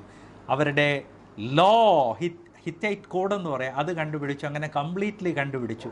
അത് ആയിരത്തി എണ്ണൂറ്റി തൊണ്ണൂറിനോടടുത്ത് കണ്ടുപിടിക്കുന്നതിന് മുൻപ് വരെ വേദപുസ്തകത്തെ എതിർക്കുന്ന യുക്തിവാദികളും അതുപോലെ തന്നെ ഈ നാസ്തികരും കണ്ടിന്യൂസ് ആയിട്ട് പറഞ്ഞിരുന്ന ഹിത്യർ എന്ന് പറഞ്ഞ ഒരു ഗ്രൂപ്പ് ഒരിക്കലും ഉണ്ടായിട്ടില്ല. അതിനുവേണ്ടി ഒരു തെളിവുമില്ല. അതുകൊണ്ട് ബൈബിൾ അവരുടെ ഹി ഹിസ്റ്ററിയെക്കുറിച്ച് പറയുന്നത് തെറ്റാ. ഹിത്യർ ഇല്ലായിരുന്നെങ്കിൽ വേദോത്സവത്തിൽ പറഞ്ഞിരിക്കുന്ന ധാരാളം ഹിസ്റ്റോറിക്കൽ കാര്യങ്ങൾ തെറ്റായിരുന്നു. ഇങ്ങനെയാണ് അവർ ബൈബിളിനെ ഡിസ്മാന്റിൽ ചെയ്യാൻ വേണ്ടി നോക്കുന്നത്. ബൈബിളിൽ സയൻസുമായിട്ട് ബന്ധപ്പെട്ട ധാരാളം തെറ്റുകളുണ്ട് എന്ന് ആളുകൾ അവകാശപ്പെടാറുണ്ട്. മോഡേൺ ഇന്നത്തെ മോഡേൺ വേൾഡിലെ യുക്തിവാദികൾ തുടർച്ചയായിട്ട് അതിനെതിരെ ഇടാറുണ്ട് നാസ്തികരെ ഇടാറുണ്ട് മുസ്ലിംസിന്റെയും കയ്യിൽ അത് ഇണങ്ങിയ ഒരു ആയുധമാണ്. ബിക്കോസ് ഇംഗ്ലീഷിൽ ഒരു പറച്ചിലുണ്ട് bull in the china shop ഈ ചില്ലും കൊണ്ടുള്ള സാധനം നിറച്ച് വെച്ചിരിക്കുന്ന ഒരു സൂപ്പർ മാർക്കറ്റിൽ ഒരു ബുൾ ഒരു കാള അങ്ങോട്ട് കയറി ചെന്നാൽ കാള ഏത് ഡയറക്ഷനിൽ പോയി കഴിഞ്ഞാലും ചില്ലുപൊട്ടും ഇന്ന ഡയറക്ഷൻ എന്നൊന്നുമില്ല ബൈബിളിന്റെ കാര്യം അതുപോലെ തന്നെ ബൈബിൾ വേദോസ്തം ഈ ശാസ്ത്രവുമായിട്ട് ബന്ധപ്പെട്ട ഒത്തിരിയും കാര്യങ്ങൾ പറയുന്നുള്ളതുകൊണ്ട് ബൈബിളിൽ ഏ എങ്ങോട്ട് നോക്കിക്കഴിഞ്ഞാൽ അവിടെ ശാസ്ത്രവുമായിട്ട് ബന്ധപ്പെട്ട കാര്യങ്ങളുണ്ട്. ഫോർ എക്സാമ്പിൾ മൂന്നാം ദിവസമാണ് കർത്താവ് സസ്യാദികളെ സൃഷ്ടിച്ചത്. നാലാം ദിവസമാണ് സൂര്യനെയും ചന്ദ്രനെയും സൃഷ്ടിച്ചത്. അപ്പം സസ്യാദികൾ വളരണമെങ്കിൽ ക്ലോറോഫിൽ വേണം ക്ലോറോഫിൽ വേണമെങ്കിൽ സൂര്യപ്രകാശം വേണം. ഇത് M M Akbar Muslim apologist M M Akbar എപ്പോഴും ചോദിക്കുന്ന ഒരു ചോദ്യമാണ്. മൂന്നാം ദിവസം ദൈവം സസ്യാദികളെ സൃഷ്ടിച്ചു നാലാം ദിവസം സൂര്യനെയും ചന്ദ്രനെയും സൃഷ്ടിച്ചു. അപ്പോൾ അതൊരു ശാസ്ത്രീയ അബദ്ധമല്ലേ വേദോസ്തവം സീരിയസ്ലി പഠിക്കാത്തതുകൊണ്ട് നമ്മുടെ പല ആളുകൾ ഈ മുസ്ലിംസ് ചോദിക്കുന്ന ഈ തിയോളജിക്കൽ ചോദ്യങ്ങളും ശാസ്ത്രീയ ചോദ്യങ്ങളുടെ മുമ്പിൽ പതറിപ്പോയി പലപ്പോഴും ആവശ്യമില്ലാത്ത വളരെ അഫൂളിഷായിട്ടുള്ള മറുപടി പറയാറുണ്ട് എന്നുള്ള കാര്യം ഞാൻ ഓർപ്പിക്കട്ടെ. നിങ്ങളെ അതുപോലെ ഇന്ന് ഈ ക്ലാസ് അറ്റൻഡ് ചെയ്യുന്ന ആളുകളും ഈ വീഡിയോ കേൾക്കുന്ന ഡസൻ കണക്കിന് ആളുകൾ ഇപ്പം വേൾഡ് വൈഡ് ഉണ്ട്. അവരെ എല്ലാവരും ഓർപ്പിക്കാൻ ആഗ്രഹിക്കുന്നത് മുസ്ലിംസ് മുഖാമുഖമായിട്ടോ പ്രത്യേകിച്ച് നിങ്ങളെ ടെലിഫോൺ വിളിച്ച് ചോദിക്കുവാണെങ്കിൽ നിങ്ങൾക്കറിയത്തില്ലെങ്കിൽ നിങ്ങൾ ആ ചോദ്യത്തിന് മറുപടി പറയരുത്. എപ്പോഴും ഓർത്തിരിക്കേണ്ട കാര്യം നിങ്ങൾ എന്ത് പറഞ്ഞാലും അത് റെക്കോർഡ് ചെയ്യുകയാണ്. അപ്പോൾ മൂന്നാം ദിവസം ദൈവം സസ്യാദികളെ സൃഷ്ടിച്ചു. നാലാം ദിവസം സൂര്യനെയും ചന്ദ്രനെയും സൃഷ്ടിച്ചു. ക്ലോറോഫില്ല ഇല്ലാതെ ഈ ചെടികൾ എങ്ങനെ കണ്ടിന്യൂ ചെയ്തെന്ന് ചോദിച്ചു കഴിഞ്ഞാൽ അത് വേദോസ്തവത്തിലുള്ള ഒരു ശാസ്ത്രീയ അബദ്ധമാണെന്ന് പറയരുത്. അത് നിങ്ങൾ ചെയ്യുന്ന ദൈവശാസ്ത്രപരമായ അബദ്ധമാണ്. നേരെ മറിച്ച് വേദോത്സവത്തിലുള്ള ഡേയ്സ് അത് ശരിയായ ക്രമത്തിലല്ല. ആദ്യമേ സൂര്യനെയും ചന്ദ്രനെ സൃഷ്ടിച്ചു പിന്നാണ് സസ്യാദികളെ സൃഷ്ടിച്ച് നിങ്ങൾ പറഞ്ഞു കഴിഞ്ഞാൽ നിങ്ങൾ വേദോത്സവത്തിൽ പറഞ്ഞിരിക്കുന്ന ഓർഡർ തെറ്റാണെന്നുള്ളത് സംബന്ധിച്ചെന്ന് അവർ നിങ്ങളുടെ ഫ്രണ്ട്സിന്റെ മുമ്പിൽ ഡിക്ലെയർ ചെയ്യുക എന്നുള്ള കാര്യം ഞാൻ ഓർപ്പിക്കട്ടെ. അറിയാൻ വയ്യാത്ത വിഷയത്തിൽ സംസാരിക്കാൻ പോകാതിരിക്കുന്നതാണ് ഉചിതം എന്ന് ഞാൻ ഓർപ്പിക്കട്ടെ. നിങ്ങൾ പെട്ടെന്ന് ചോദിച്ചെന്നിരിക്കുന്നാലും ജോൺസൺ ബ്രദർ അതിന്റെ മറുപടി ഒന്ന് പറഞ്ഞു മൂന്നാം ദിവസം സസ്യാദികളെ സൃഷ്ടിച്ചു. നാലാം ദിവസമാണ് സൂര്യനെ സൃഷ്ടിച്ചത്. അപ്പോൾ ഈ സസ്യാദികൾ എങ്ങനെ സർവൈവ് ചെയ്തു? സോ വെരി ഈസി അറിയ നമുക്കതിന്റെ ആൻസർ അറിയത്തില്ലെങ്കിൽ അത് വളരെ ഡിഫിക്കൽട്ടായിട്ട് തോന്നും. ആ ആൻസർ നമ്മൾ നോക്കിയിട്ടുണ്ടെങ്കിൽ എവിടെയെങ്കിലും വളരെ ഈസിയാണ് ക്ലോറോഫിൽ ഉള്ള ചെടികൾക്ക് സൂര്യപ്രകാശം ആവശ്യമാണെങ്കിലും സൂര്യപ്രകാശമില്ലാതെ ഈ ചില സ്ഥലത്തൊക്കെ വലിയ ഡാർക്ക് ഈ പൊടിയുടെ ക്ലൗഡ്സ് വരാറുണ്ട്. അവിടെ സൂര്യപ്രകാശമില്ലാതെ ആഴ്ചകൾ ആ, നീണ്ട് നിൽക്കാറുണ്ട് അവിടെ ഒന്നും ക്ലോറോഫിലുള്ള ചെടികൾക്ക് ഒരു പ്രശ്നവും വരാറില്ല. കാരണം ക്ലോറോഫിലുള്ള ചെടികൾക്ക് സൂര്യപ്രകാശം ആവശ്യമാണെങ്കിൽ സൂര്യപ്രകാശം ഇല്ലാതെ ആഴ്ചകൾ അവർക്ക് സർവൈവ് ചെയ്യാൻ സാധിക്കും. ഇവിടെ ഇരുപത്തിനാല് മണിക്കൂറിന്റെ കാര്യമേ ഉള്ളൂ. അതാണ് ശാസ്ത്രീയ വസ്തുത. അത് അറിയാമെങ്കിൽ നിങ്ങൾ പറഞ്ഞോണം. അറിയത്തില്ലെങ്കിൽ ആവശ്യമില്ലാത്ത മറുപടി പറഞ്ഞ് ഒടുവിൽ ജനത്തിന്റെ മുമ്പിൽ ദേ ഇന്നയാൾ ഇന്നത് പറഞ്ഞെന്നും പറഞ്ഞവർ കൊണ്ടുവെക്കുമ്പോൾ അത് വലിയ പരിഹാസത്തിന് കാരണമാകും എന്ന് ഞാൻ ഓർപ്പിക്കട്ടെ. സോ വേദപുസ്തകത്തിൽ സയന്റിഫിക് എററുണ്ട് വേദപുസ്തകത്തിൽ ഹിസ്റ്റോറിക്കൽ എററുണ്ട് എന്ന് അവർ പറയുന്നതിന്റെയൊക്കെ റൂട്ട് കോസ് അവർക്കറിയാം. അവർക്ക് അരാജകത്തിൽ ജീവിക്കാൻ ആഗ്രഹിക്കുന്ന ആ ഫിലോസഫിയെ ക്രിസ്ത്യാനികൾ എന്തുകൊണ്ട് എതിർക്കുന്നു? പ്രശ്നമെന്ത്? ഈ ക്രിസ്ത്യാനി എന്തുകൊണ്ട് എന്റെ ജീവിത രീതിയെ എതിർക്കുന്നു? എന്തുകൊണ്ട് എന്റെ തത്വശാസ്ത്രത്തെ എതിർക്കുന്നു? വാട്ട് ഈസ് ദ പ്രോബ്ലം അവർക്കറിയാം പ്ര- പ്രശ്നം എന്താണ്? അവർ വേദപുസ്തകത്തെ വിശ്വസിക്കുന്നവർ സംരക്ഷണവാദികളാണ്. അതിന്റെ പരിഹാരം എന്ത് അവരുടെ ഫൗണ്ടേഷൻ അങ്ങോട്ട് ഡിസ്ട്രോയ് ചെയ്യുക ഫൗണ്ടേഷൻ കട്ട് ചെയ്യുക.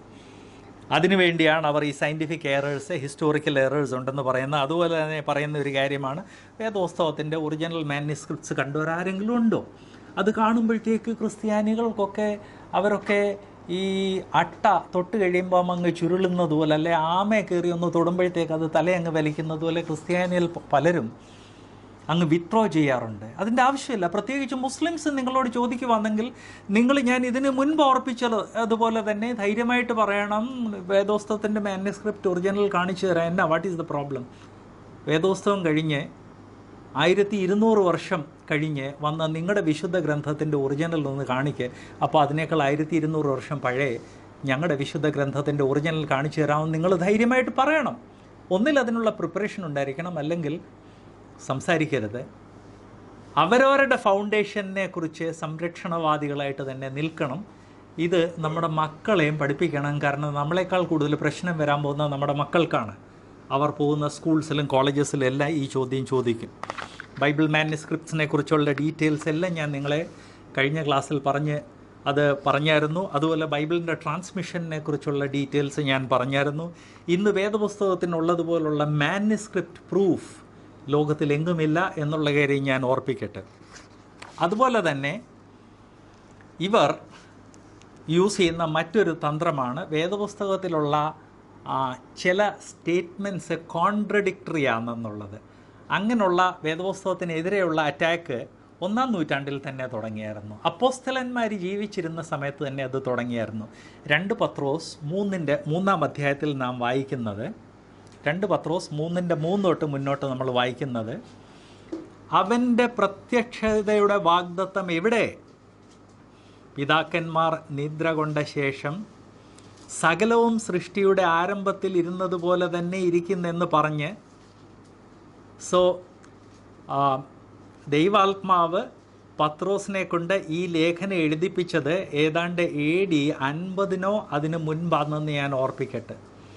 അപ്പം സഭായുഗം തുടങ്ങി ഒരു ഇരുപത് വർഷം കഴിഞ്ഞപ്പോഴത്തേക്ക് പരിഹാസികൾ സഭയിൽ വന്ന് വേദപുസ്തകത്തിൽ ഇന്നതുപോലൊരു ഉപദേശമുണ്ടല്ലോ ആ ഉപദേശം നമ്മൾ കാണുന്നില്ലല്ലോ എന്ന് പറഞ്ഞാൽ ആ ഉപദേശത്തിനനുസരിച്ചൊന്നും നടന്നില്ലല്ലോ എന്ന് പരിഹസിച്ചു തുടങ്ങി.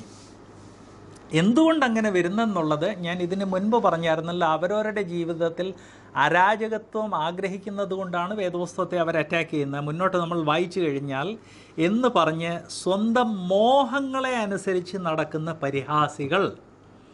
പരിഹാസത്തോടെ അന്ത്യകാലത്ത് വരുമെന്ന് വിശേഷാൽ അറിഞ്ഞുകൊള്ളുവീൻ. നിങ്ങൾ പറഞ്ഞു എന്തെങ്കിലും ബ്രദറെ and that is the key അന്ത്യകാലത്താണ് വരുന്ന ഇരുപത്തിയൊന്നാം നൂറ്റാണ്ടിലെ വെയിറ്റ് പുതിയ നിയമത്തിൽ കർത്താവ് ഈ തലമുറയിൽ തന്നെ വരാൻ സാധ്യത ഉണ്ടെന്ന് വിശ്വസിച്ചിരുന്നു. അത് പുതിയ നിയമം നമ്മൾ വായിക്കുമ്പോൾ വളരെ വ്യക്തമാകും. എന്തുകൊണ്ടങ്ങനെ വിശ്വസിച്ചിരുന്നു? കർത്താവ് തന്റെ വരവിന്റെ സമയം പറഞ്ഞില്ല ഐ വിൽ കം ക്വിക്ക്ലി എന്നാണ് പറഞ്ഞത്. അപ്പോൾ കർത്താവെ വേഗം വരേണേ കർത്താവെ എന്ന് ആ അപ്പോസ്തലൻ കർത്താവിനോട് പറഞ്ഞതുപോലെ അത് അവരുടെ മനസ്സിൽ വലിയൊരു ആഗ്രഹമായിരുന്നു ഈവൻ കേരളത്തിൽ ഒരു അൻപത് അത് അറുപത് വർഷങ്ങൾക്ക് മുൻപൊക്കെ എനിക്ക് ഓർമ്മയുണ്ട് വല്യപ്പച്ചന്മാരൊക്കെ പ്രാർത്ഥിക്കുമ്പം കർത്താവെ വേഗം വരേണേ എന്ന് പ്രാർത്ഥിക്കുമായിരുന്നു. ഇന്ന് പ്രാർത്ഥനകളിൽ ആ സ്റ്റേറ്റ്മെന്റ് അങ്ങനെ കേൾക്കാറില്ല. എന്നെ മമ്മി പഠിപ്പിച്ച പ്രാർത്ഥനയിൽ അന്ന് എനിക്ക് അതിന്റെ അർത്ഥം അറിയത്തില്ലായിരുന്നു. എന്നാൽ അതിൽ ഈ സ്റ്റേറ്റ്മെന്റ് ഉണ്ടായിരുന്നു കർത്താവെ വേഗം വരയണമേ എന്റെ വല്യപ്പച്ചന്മാരൊക്കെ എന്റെ ഗ്രാൻഡ് ഫാദർ എന്റെ ഫാദറിന്റെ സൈഡിൽ എന്റെ മദറിന്റെ സൈഡിൽ അവർ രണ്ടുപേരും എപ്പോഴും പറയുമായിരുന്നു കർത്താവ് എന്റെ ജീവിതകാലത്ത് തന്നെ വരണമെന്ന് എനിക്ക് വലിയൊരു ആഗ്രഹം മകനെ അത് ഒന്നാം നൂറ്റാണ്ടിൽ തുടങ്ങിയ ആഗ്രഹമാണ്. എന്ന ഒന്നാം നൂറ്റാണ്ട് തൊട്ടേ അതിനെ അറ്റാക്ക് ചെയ്യുന്നവരും ഉണ്ടായിരുന്നു. അത് ക്രിസ്തീയ സഭയ്ക്കുള്ളിലുള്ള ആളുകളായിരുന്നെന്ന് ഞാൻ ഓർപ്പിക്കട്ടെ. അത് രണ്ട് പത്രോസ് രണ്ടാം അധ്യായത്തിന്റെ ഒന്നാം വാക്യം തൊട്ട് നാം വായിക്കുമ്പോൾ അത് വ്യക്തമാകും. രണ്ട് പത്രോസ് ഒന്നാം രണ്ട് പത്രോസ് രണ്ടാം അധ്യായത്തിന്റെ ഒന്നാം വാക്യം എന്നാൽ കള്ളപ്രവാചകന്മാർ ഇത് ചർച്ചിന്റെ പുറത്തുള്ള ആളുകളല്ല സഭയുടെ ഉള്ളിലുള്ള ആളുകളാണ്. പുറത്തുള്ള ആളുകളെയല്ല നമ്മൾ കള്ളപ്രവാചകന്മാരെന്ന് പറയുന്നത്. അത് മറ്റ് മതത്തിൽപ്പെട്ടവരാണ്. കള്ളപ്രവാചകന്മാരും ജനത്തിന്റെ ഇടയിൽ ഉണ്ടായിരുന്നു. ജനം എന്ന് ഇവിടെ ഉദ്ദേശിക്കുന്നത് ദൈവജനത്തെക്കുറിച്ചാണ്. അങ്ങനെ നിങ്ങളുടെ ഇടയിലും അപ്പം ഇവിടെ ജനം എന്ന് പറയുന്നത് യഹൂദന്മാർ. യഹൂദന്മാരുടെ ഇടയ്ക്ക് യഹൂദന്മാരെന്ന് തന്നെ ഐഡന്റിഫൈ ചെയ്ത യഹൂദ പ്രവാചകന്മാരെന്ന് ഐഡന്റിഫൈ ചെയ്ത കള്ളപ്രവാചകന്മാരുണ്ടായിരുന്നെന്ന് ദൈവവചനം പറയുന്നു. അങ്ങനെയുള്ള കള്ളപ്രവാചകന്മാരെ കുറിച്ച് പഴയ നിയമത്തിൽ നാം വായിക്കുന്നുണ്ട്. ഞാനൊരു പ്രവാചകനാണെന്ന് ക്ലെയിം ചെയ്ത ആ സംഭവം നിങ്ങൾക്ക് ഓർമ്മയുണ്ടായിരിക്കും. ആ കർത്താവ് പറഞ്ഞ് അയച്ച ആ പ്രവാചകൻ ഈ കള്ളപ്രവാചകൻ പറഞ്ഞ വാക്ക് കേട്ട് കർത്താവിനോട് അന്വേഷിക്കാതെ ഈ കള്ളപ്രവാചകൻ കേട്ടതിന്റെ കാരണം കൊണ്ട് മരണമടയേണ്ടി വന്നു. ആ സംഭവം നിങ്ങൾക്ക് ഓർമ്മ കാണും. ആ പശ്ചാത്തലത്തിലാണ് ദൈവവചനം അല്ലെ തിരുവെഴുത്ത് പുതിയ നിയമത്തെ കാര്യം പറയുന്നത്. പുതിയ നിയമം പറയുന്നത് അങ്ങനെ നിങ്ങളുടെ ഇടയിൽ എന്ന് പറഞ്ഞാൽ പുതിയ നിയമസഭയുടെ ഇടയിലും ദുരുപദേഷ്ടാക്കന്മാർ ഉണ്ടാകും. ആക്ച്വലി പുറത്തുള്ളവരല്ല സഭയ്ക്ക് പ്രശ്നം. സഭയുടെ ഉള്ളിൽ ദുരുപദേഷ്ടാക്കന്മാരുണ്ടാകുന്നതാണ് പ്രശ്നം. അങ്ങനെ ഉണ്ടാകും എന്ന് ഒന്നാം നൂറ്റാണ്ടിൽ തന്നെ ദൈവവചനം ഓർപ്പിക്കുന്നു. അവർ നാശകരമായ മതഭേദ ഭേദങ്ങളെ നുഴയിച്ച് തങ്ങളെ വിലയ്ക്ക് വാങ്ങിയ നാഥനെ തള്ളിപ്പറയുന്നു. നാഥൻ എന്നുള്ള വാക്ക് പ്രത്യേകം നിങ്ങൾ ശ്രദ്ധിക്കണം. ഈ ഇത് ദൈവാത്മാവ് ഈ വാക്ക് അവിടെ ചേർത്തത് അവിടെ ഉപയോഗിച്ച് അതിന് പർപ്പസ് ഉണ്ട്. ഇത് രക്ഷിക്കപ്പെട്ട ആളുകളാണ്. ഇത് സഭയുടെ ഉള്ളിൽപ്പെട്ട ആളുകളാണ്. അവരുടെയാണ് ക്രിസ്തുനാഥൻ. അല്ലാതെ ഈ ലോകത്തിൽ രക്ഷിക്കപ്പെടാതെ നടക്കുന്നവരുടെ നാഥനല്ല ക്രിസ്തു. രക്ഷിക്കപ്പെടാതെ നടക്കുന്നതിന് വേണ്ടി ക്രിസ്തു ലോകരക്ഷകൻ മാത്രമാണ്. ഇത് വിശ്വസിച്ച് രക്ഷിക്കപ്പെട്ട ആളുകളാണ്. അവർ നാശകരമായ മതഭേദങ്ങൾ ആ മതഭേദം എന്നുള്ള വാക്ക് നിങ്ങൾ പ്രത്യേകം ശ്രദ്ധിക്കണം. ഉപദേശം പഠിപ്പിക്കുമ്പോൾ മനുഷ്യന്റെ മനസ്സിൽ സംശയം വരുന്ന രീതിയിൽ ഉപദേശം പഠിപ്പിക്കുന്നതാണ് മതഭേദങ്ങൾ. വേദപുസ്തകത്തിൽ നിന്നൊരു ഭാഗം എടുത്ത് അതെന്തു പറയുന്നു എന്ന് ചോദിച്ചു കഴിഞ്ഞാൽ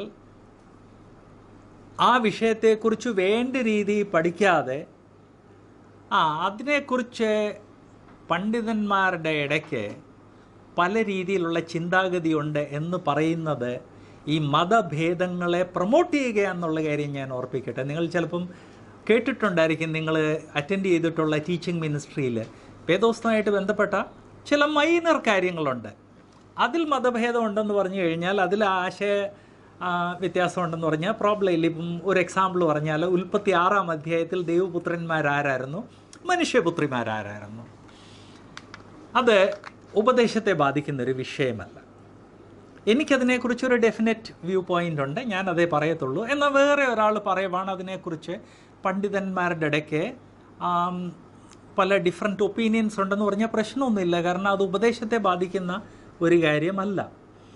എന്നാൽ നേരെ മറിച്ച് രക്ഷയുടെ ഭദ്രതയുമായിട്ടുള്ള ഒരു വാക്യം എടുത്തിട്ട് ഇതിനെക്കുറിച്ച് എന്ത് പറയുന്നതെന്ന് ചോദിച്ചു കഴിഞ്ഞാൽ അതിനെക്കുറിച്ച് സ്കോളേഴ്സിന്റെ ഇടയ്ക്ക് വളരെയധികം ഡിഫറൻസ് ഓഫ് ഒപ്പീനിയൻ ആശയ വൈവിധ്യമുണ്ട് അല്ലല്ലേ? അവർ തമ്മിൽ ഒരു ഒരു അഗ്രിമെന്റ് ഇല്ല എന്ന് പറഞ്ഞാൽ നമ്മൾ ദൈവസഭയെ ഡിസ്ട്രോയ് ചെയ്യുവാൻ വേണ്ടി നോക്കുകയാണ്.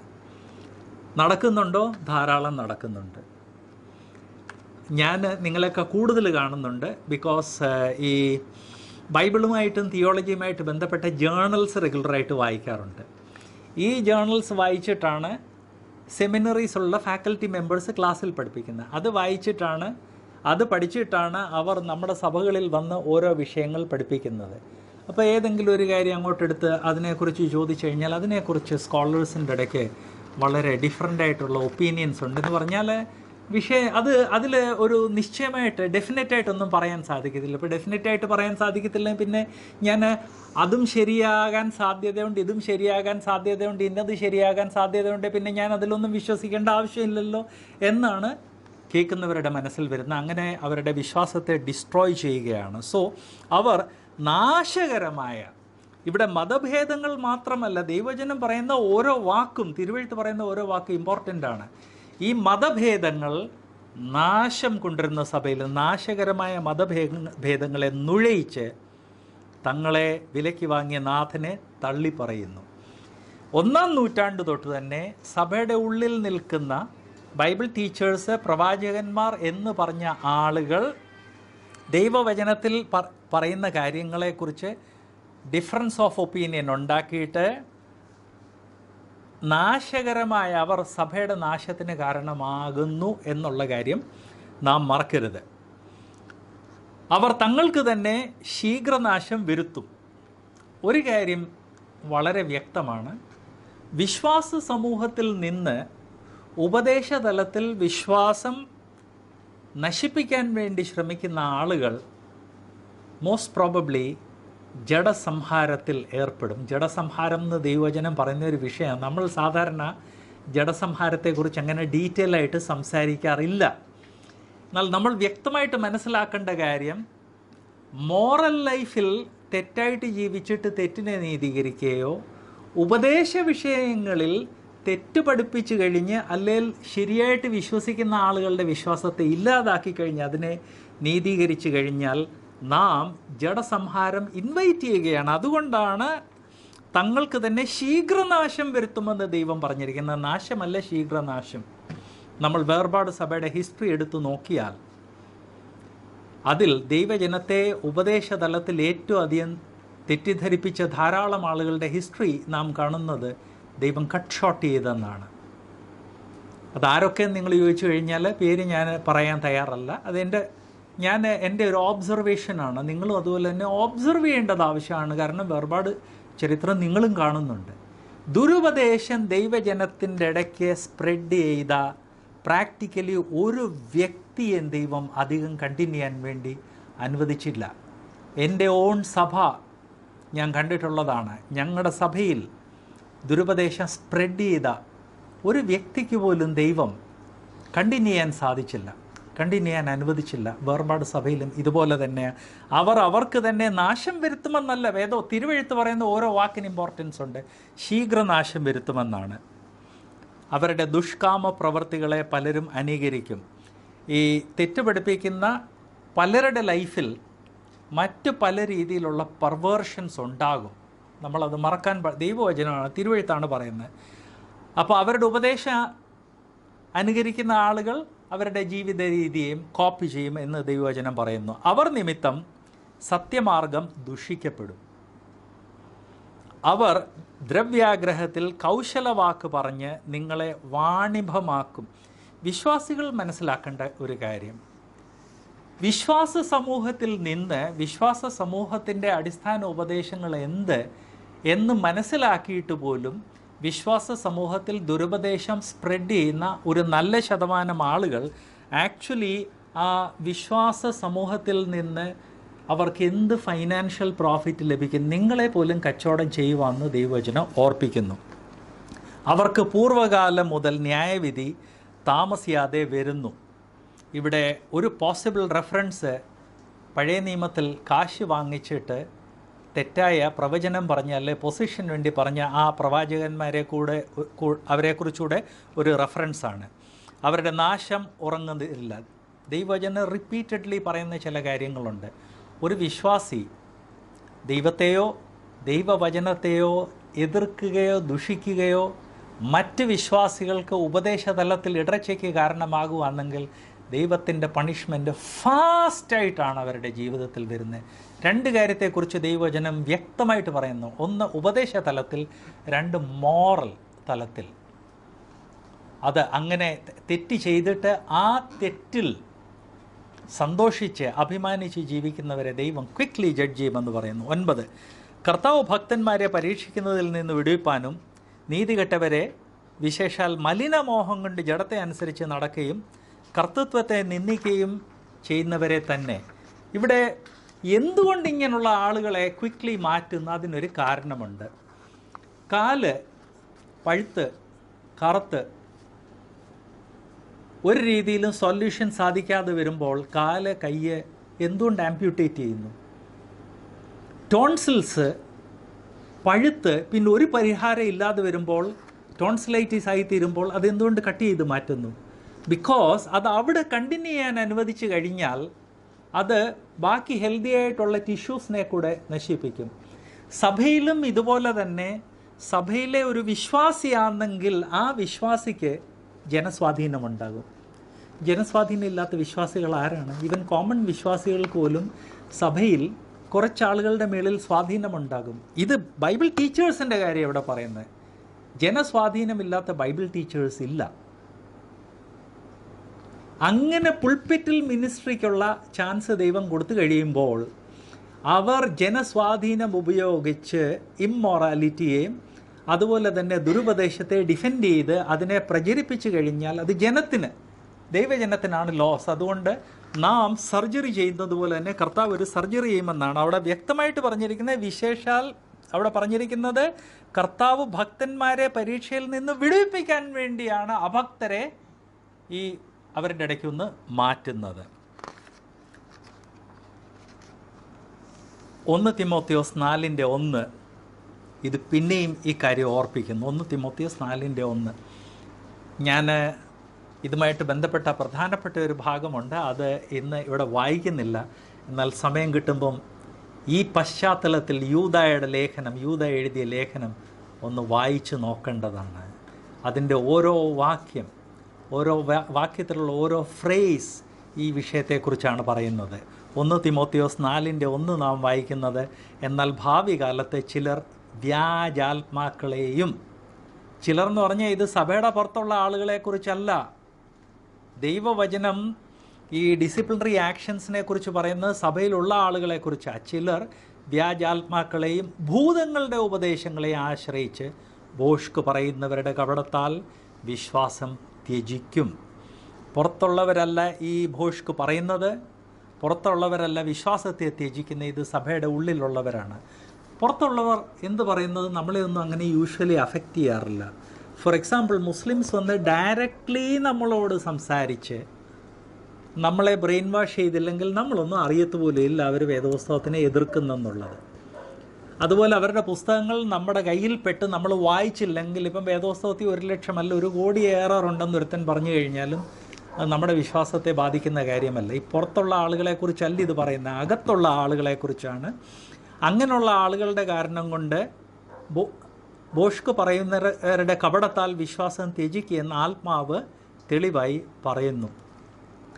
ഇതുകൊണ്ടാണ് ബിബ്ലിയോളജി നമ്മൾ ഇത്രയും സ്ട്രോങ് ആയിട്ട് പഠിക്കേണ്ടത്. ബിബ്ലി ബിബിളിയോളജിയുടെ കാര്യത്തിൽ വേദോസ്തവ ശാസ്ത്രത്തെക്കുറിച്ച് നാം ഉറച്ചു നിൽക്കേണ്ടത്. വേദപുസ്തകത്തെക്കുറിച്ചുള്ള ഒരു ചെറിയ ഒരു തെറ്റായ ആശയം പോലും വേദപുസ്തകത്തെ ചോദ്യം ചെയ്യുന്ന ഒരു ചെറിയ സ്റ്റേറ്റ്മെന്റ് പോലും നാം അനുവദിച്ചു കൂടാത്തത്. നമ്മുടെ കുട്ടികൾ വന്ന് അങ്ങനെ ഒരു കാര്യം നമ്മളോട് പറഞ്ഞു കഴിഞ്ഞാൽ അവരെ വഴക്ക് പറയുകയല്ലേ ചെയ്യേണ്ടത്? നേരെ മറിച്ച് എങ്ങനെ ഈ വിഷം അവരുടെ ഹൃദയത്തിൽ മറ്റ് ആരോ കുത്തിവെച്ചെന്നുള്ളത് പരിശോധിച്ച് മനസ്സിലാക്കി അതിന്റെ കൗണ്ടർ ഡോട്ട് ആന്റിഡോട്ട് നമ്മൾ അങ്ങോട്ട് കൊടുക്കേണ്ടതാണ്. കാരണം കുട്ടികളുടെ മിസ്റ്റേക്കല്ല അവരുടെ മനസ്സിൽ ഇത് കുത്തിവെക്കാൻ കഴിവുള്ള സ്വാധീനമുള്ള ആളുകളാണ് ഇത് ചെയ്യുന്നത്. ഈ കാര്യത്തിൽ നമുക്ക് വലിയ വീഴ്ച പറ്റിയിട്ടുണ്ടെന്ന് ഞാൻ ഓർപ്പിക്കട്ടെ. അതിനുവേണ്ടി ദൈവവചനം ഒരു പരിഹാരം കൂടെ പറയുന്നുണ്ട്. ദൈവവചനത്തിന്റെ പരിഹാരം ഒന്ന് തിമോത്തിയോസ് നാലാം അധ്യായത്തിന്റെ ഏഴാം വാക്യത്തിലാണ്. നാലിന്റെ ഏഴ്. ഭക്തിവിരുദ്ധമായ കിഴവി കഥകളെ ഒഴിച്ച് ദൈവഭക്തിക്ക് തക്കവണ്ണം അഭ്യാസം ചെയ്യുക. ഈ കിളവി കഥകൾ എന്നുള്ളത് ഇവിടെ ഒരു പ്രത്യേക രീ അർത്ഥത്തിലാണ് ഉപയോഗിച്ചിരിക്കുന്നത്. അല്ലാതെ വേദപുസ്ത ഈ നമ്മൾ സാധാരണ സംസാരത്തിൽ അമ്മൂമ്മ കഥകൾ എന്ന് പറയും. അത് കുട്ടികൾക്ക് വേണ്ടി കുട്ടികളെ ബിൽഡ് ചെയ്യാൻ വേണ്ടി അമ്മൂമ്മമാർ പറഞ്ഞു കൊടുത്ത കഥയാണ്. അവിടെ സത്യം നീതി സദാചാരം ഇങ്ങനെയുള്ള വിഷയമാണ്. ഇവിടെ കിഴവി കഥകൾ എന്ന് പറയുന്നത് യാതൊരു അടിസ്ഥാനമില്ലാത്തത് യാതൊരു ഫാക്റ്റ് ഇല്ലാത്ത ദൈവവചനത്തിന് വിരുദ്ധമായ സ്റ്റോറീസ് ആളുകൾ സ്പ്രെഡ് ചെയ്യുന്നത് അതിൽ പെടരുത്. അത് ഈ ബൈബിളിനെതിരെയുള്ള കിഴവി കഥകൾ എന്ന് പറഞ്ഞു കഴിഞ്ഞാൽ അത് വളരെയധികം വ്യാപ്തിയുള്ള ഒരു വിഷയമാണ്. അത് കണ്ടു കഴിഞ്ഞാൽ മനസ്സിലാക്കാൻ വേണ്ടി ഒരു റെഡാർ നമ്മുടെ ഉള്ളിൽ ഡെവലപ്പ് ചെയ്യണം. ഒരു ഉദാഹരണം പറഞ്ഞാൽ അടുത്ത ഇടയ്ക്ക് വാട്സാപ്പിലും ഫേസ്ബുക്കിലും ഇന്റർനെറ്റിലും ഒക്കെ വന്ന ഒരു സ്റ്റോറിയാണ് ഗോലിയാത്തിന്റെ സ്കെലിറ്റൻ കണ്ടുപിടിച്ചു. അളന്ന് നോക്കിക്കഴിഞ്ഞപ്പം അതിന് പത്തടിയോ പന്ത്രണ്ട് അടിയോ ഹൈറ്റ് ഉണ്ട്.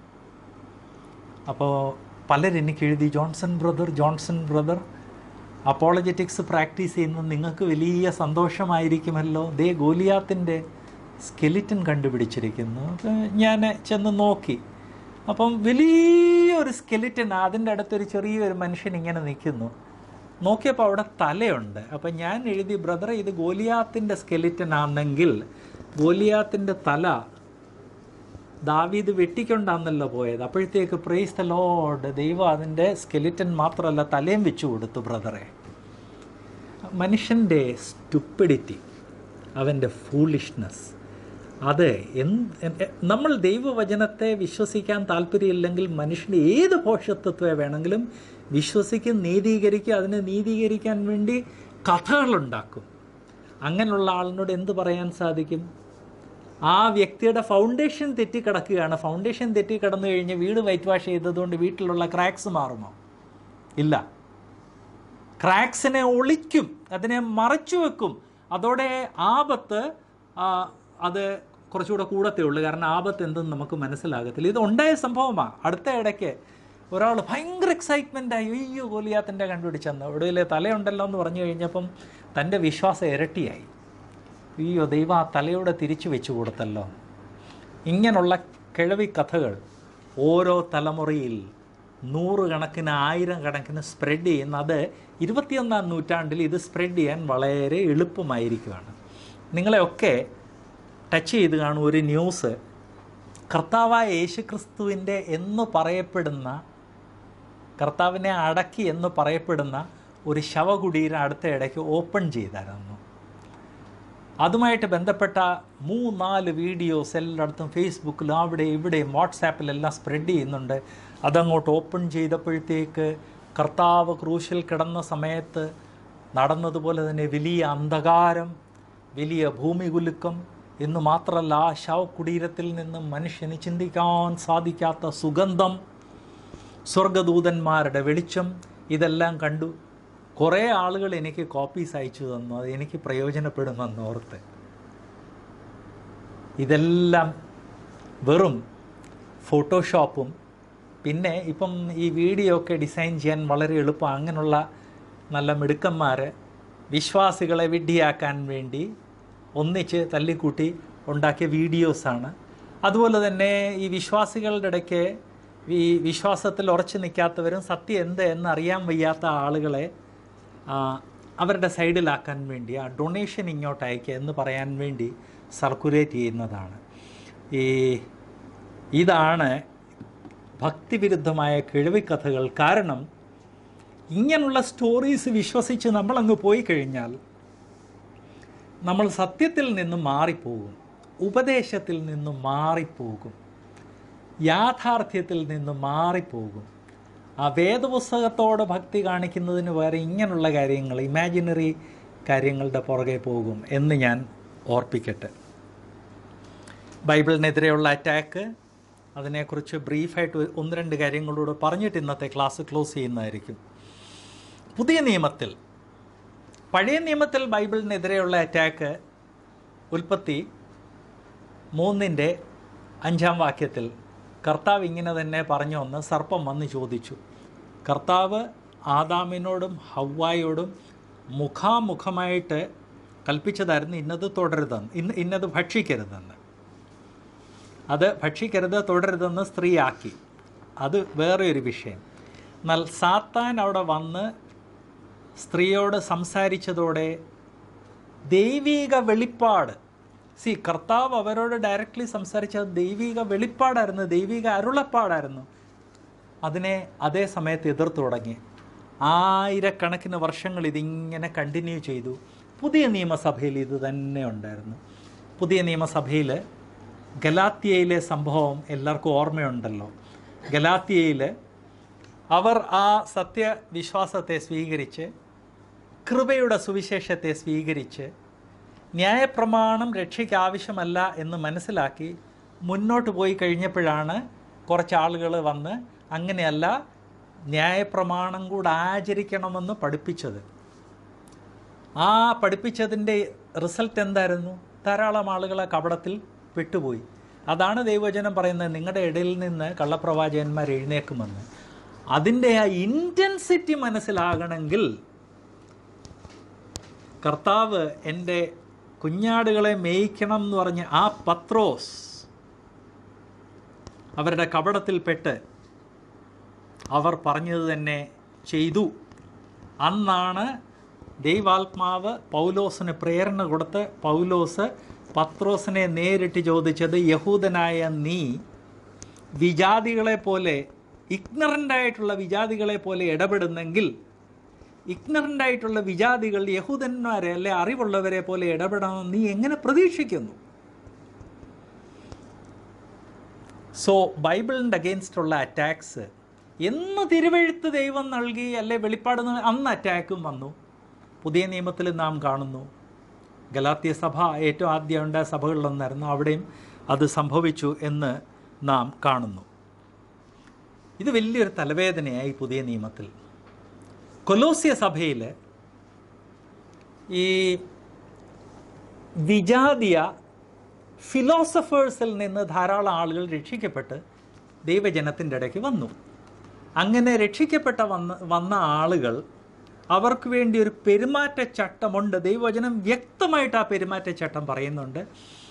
വിജാതീയ പശ്ചാത്തലത്തിൽ നിന്ന് രക്ഷിക്കപ്പെട്ട് വന്ന ഒരു വ്യക്തി ഒരു പ്രാദേശിക സഭയിൽ ചേർന്ന് ആ പ്രാദേശിക സഭയിലെ മൂപ്പന്മാരുടെ കൈക്കീഴിൽ ദൈവവചനം പഠിച്ച് ദൈവവചനം മനസ്സിലാക്കി കഴിഞ്ഞിട്ട് വേണം അവർക്ക് പുൾപ്പിറ്റ് കൊടുക്കേണ്ടത്.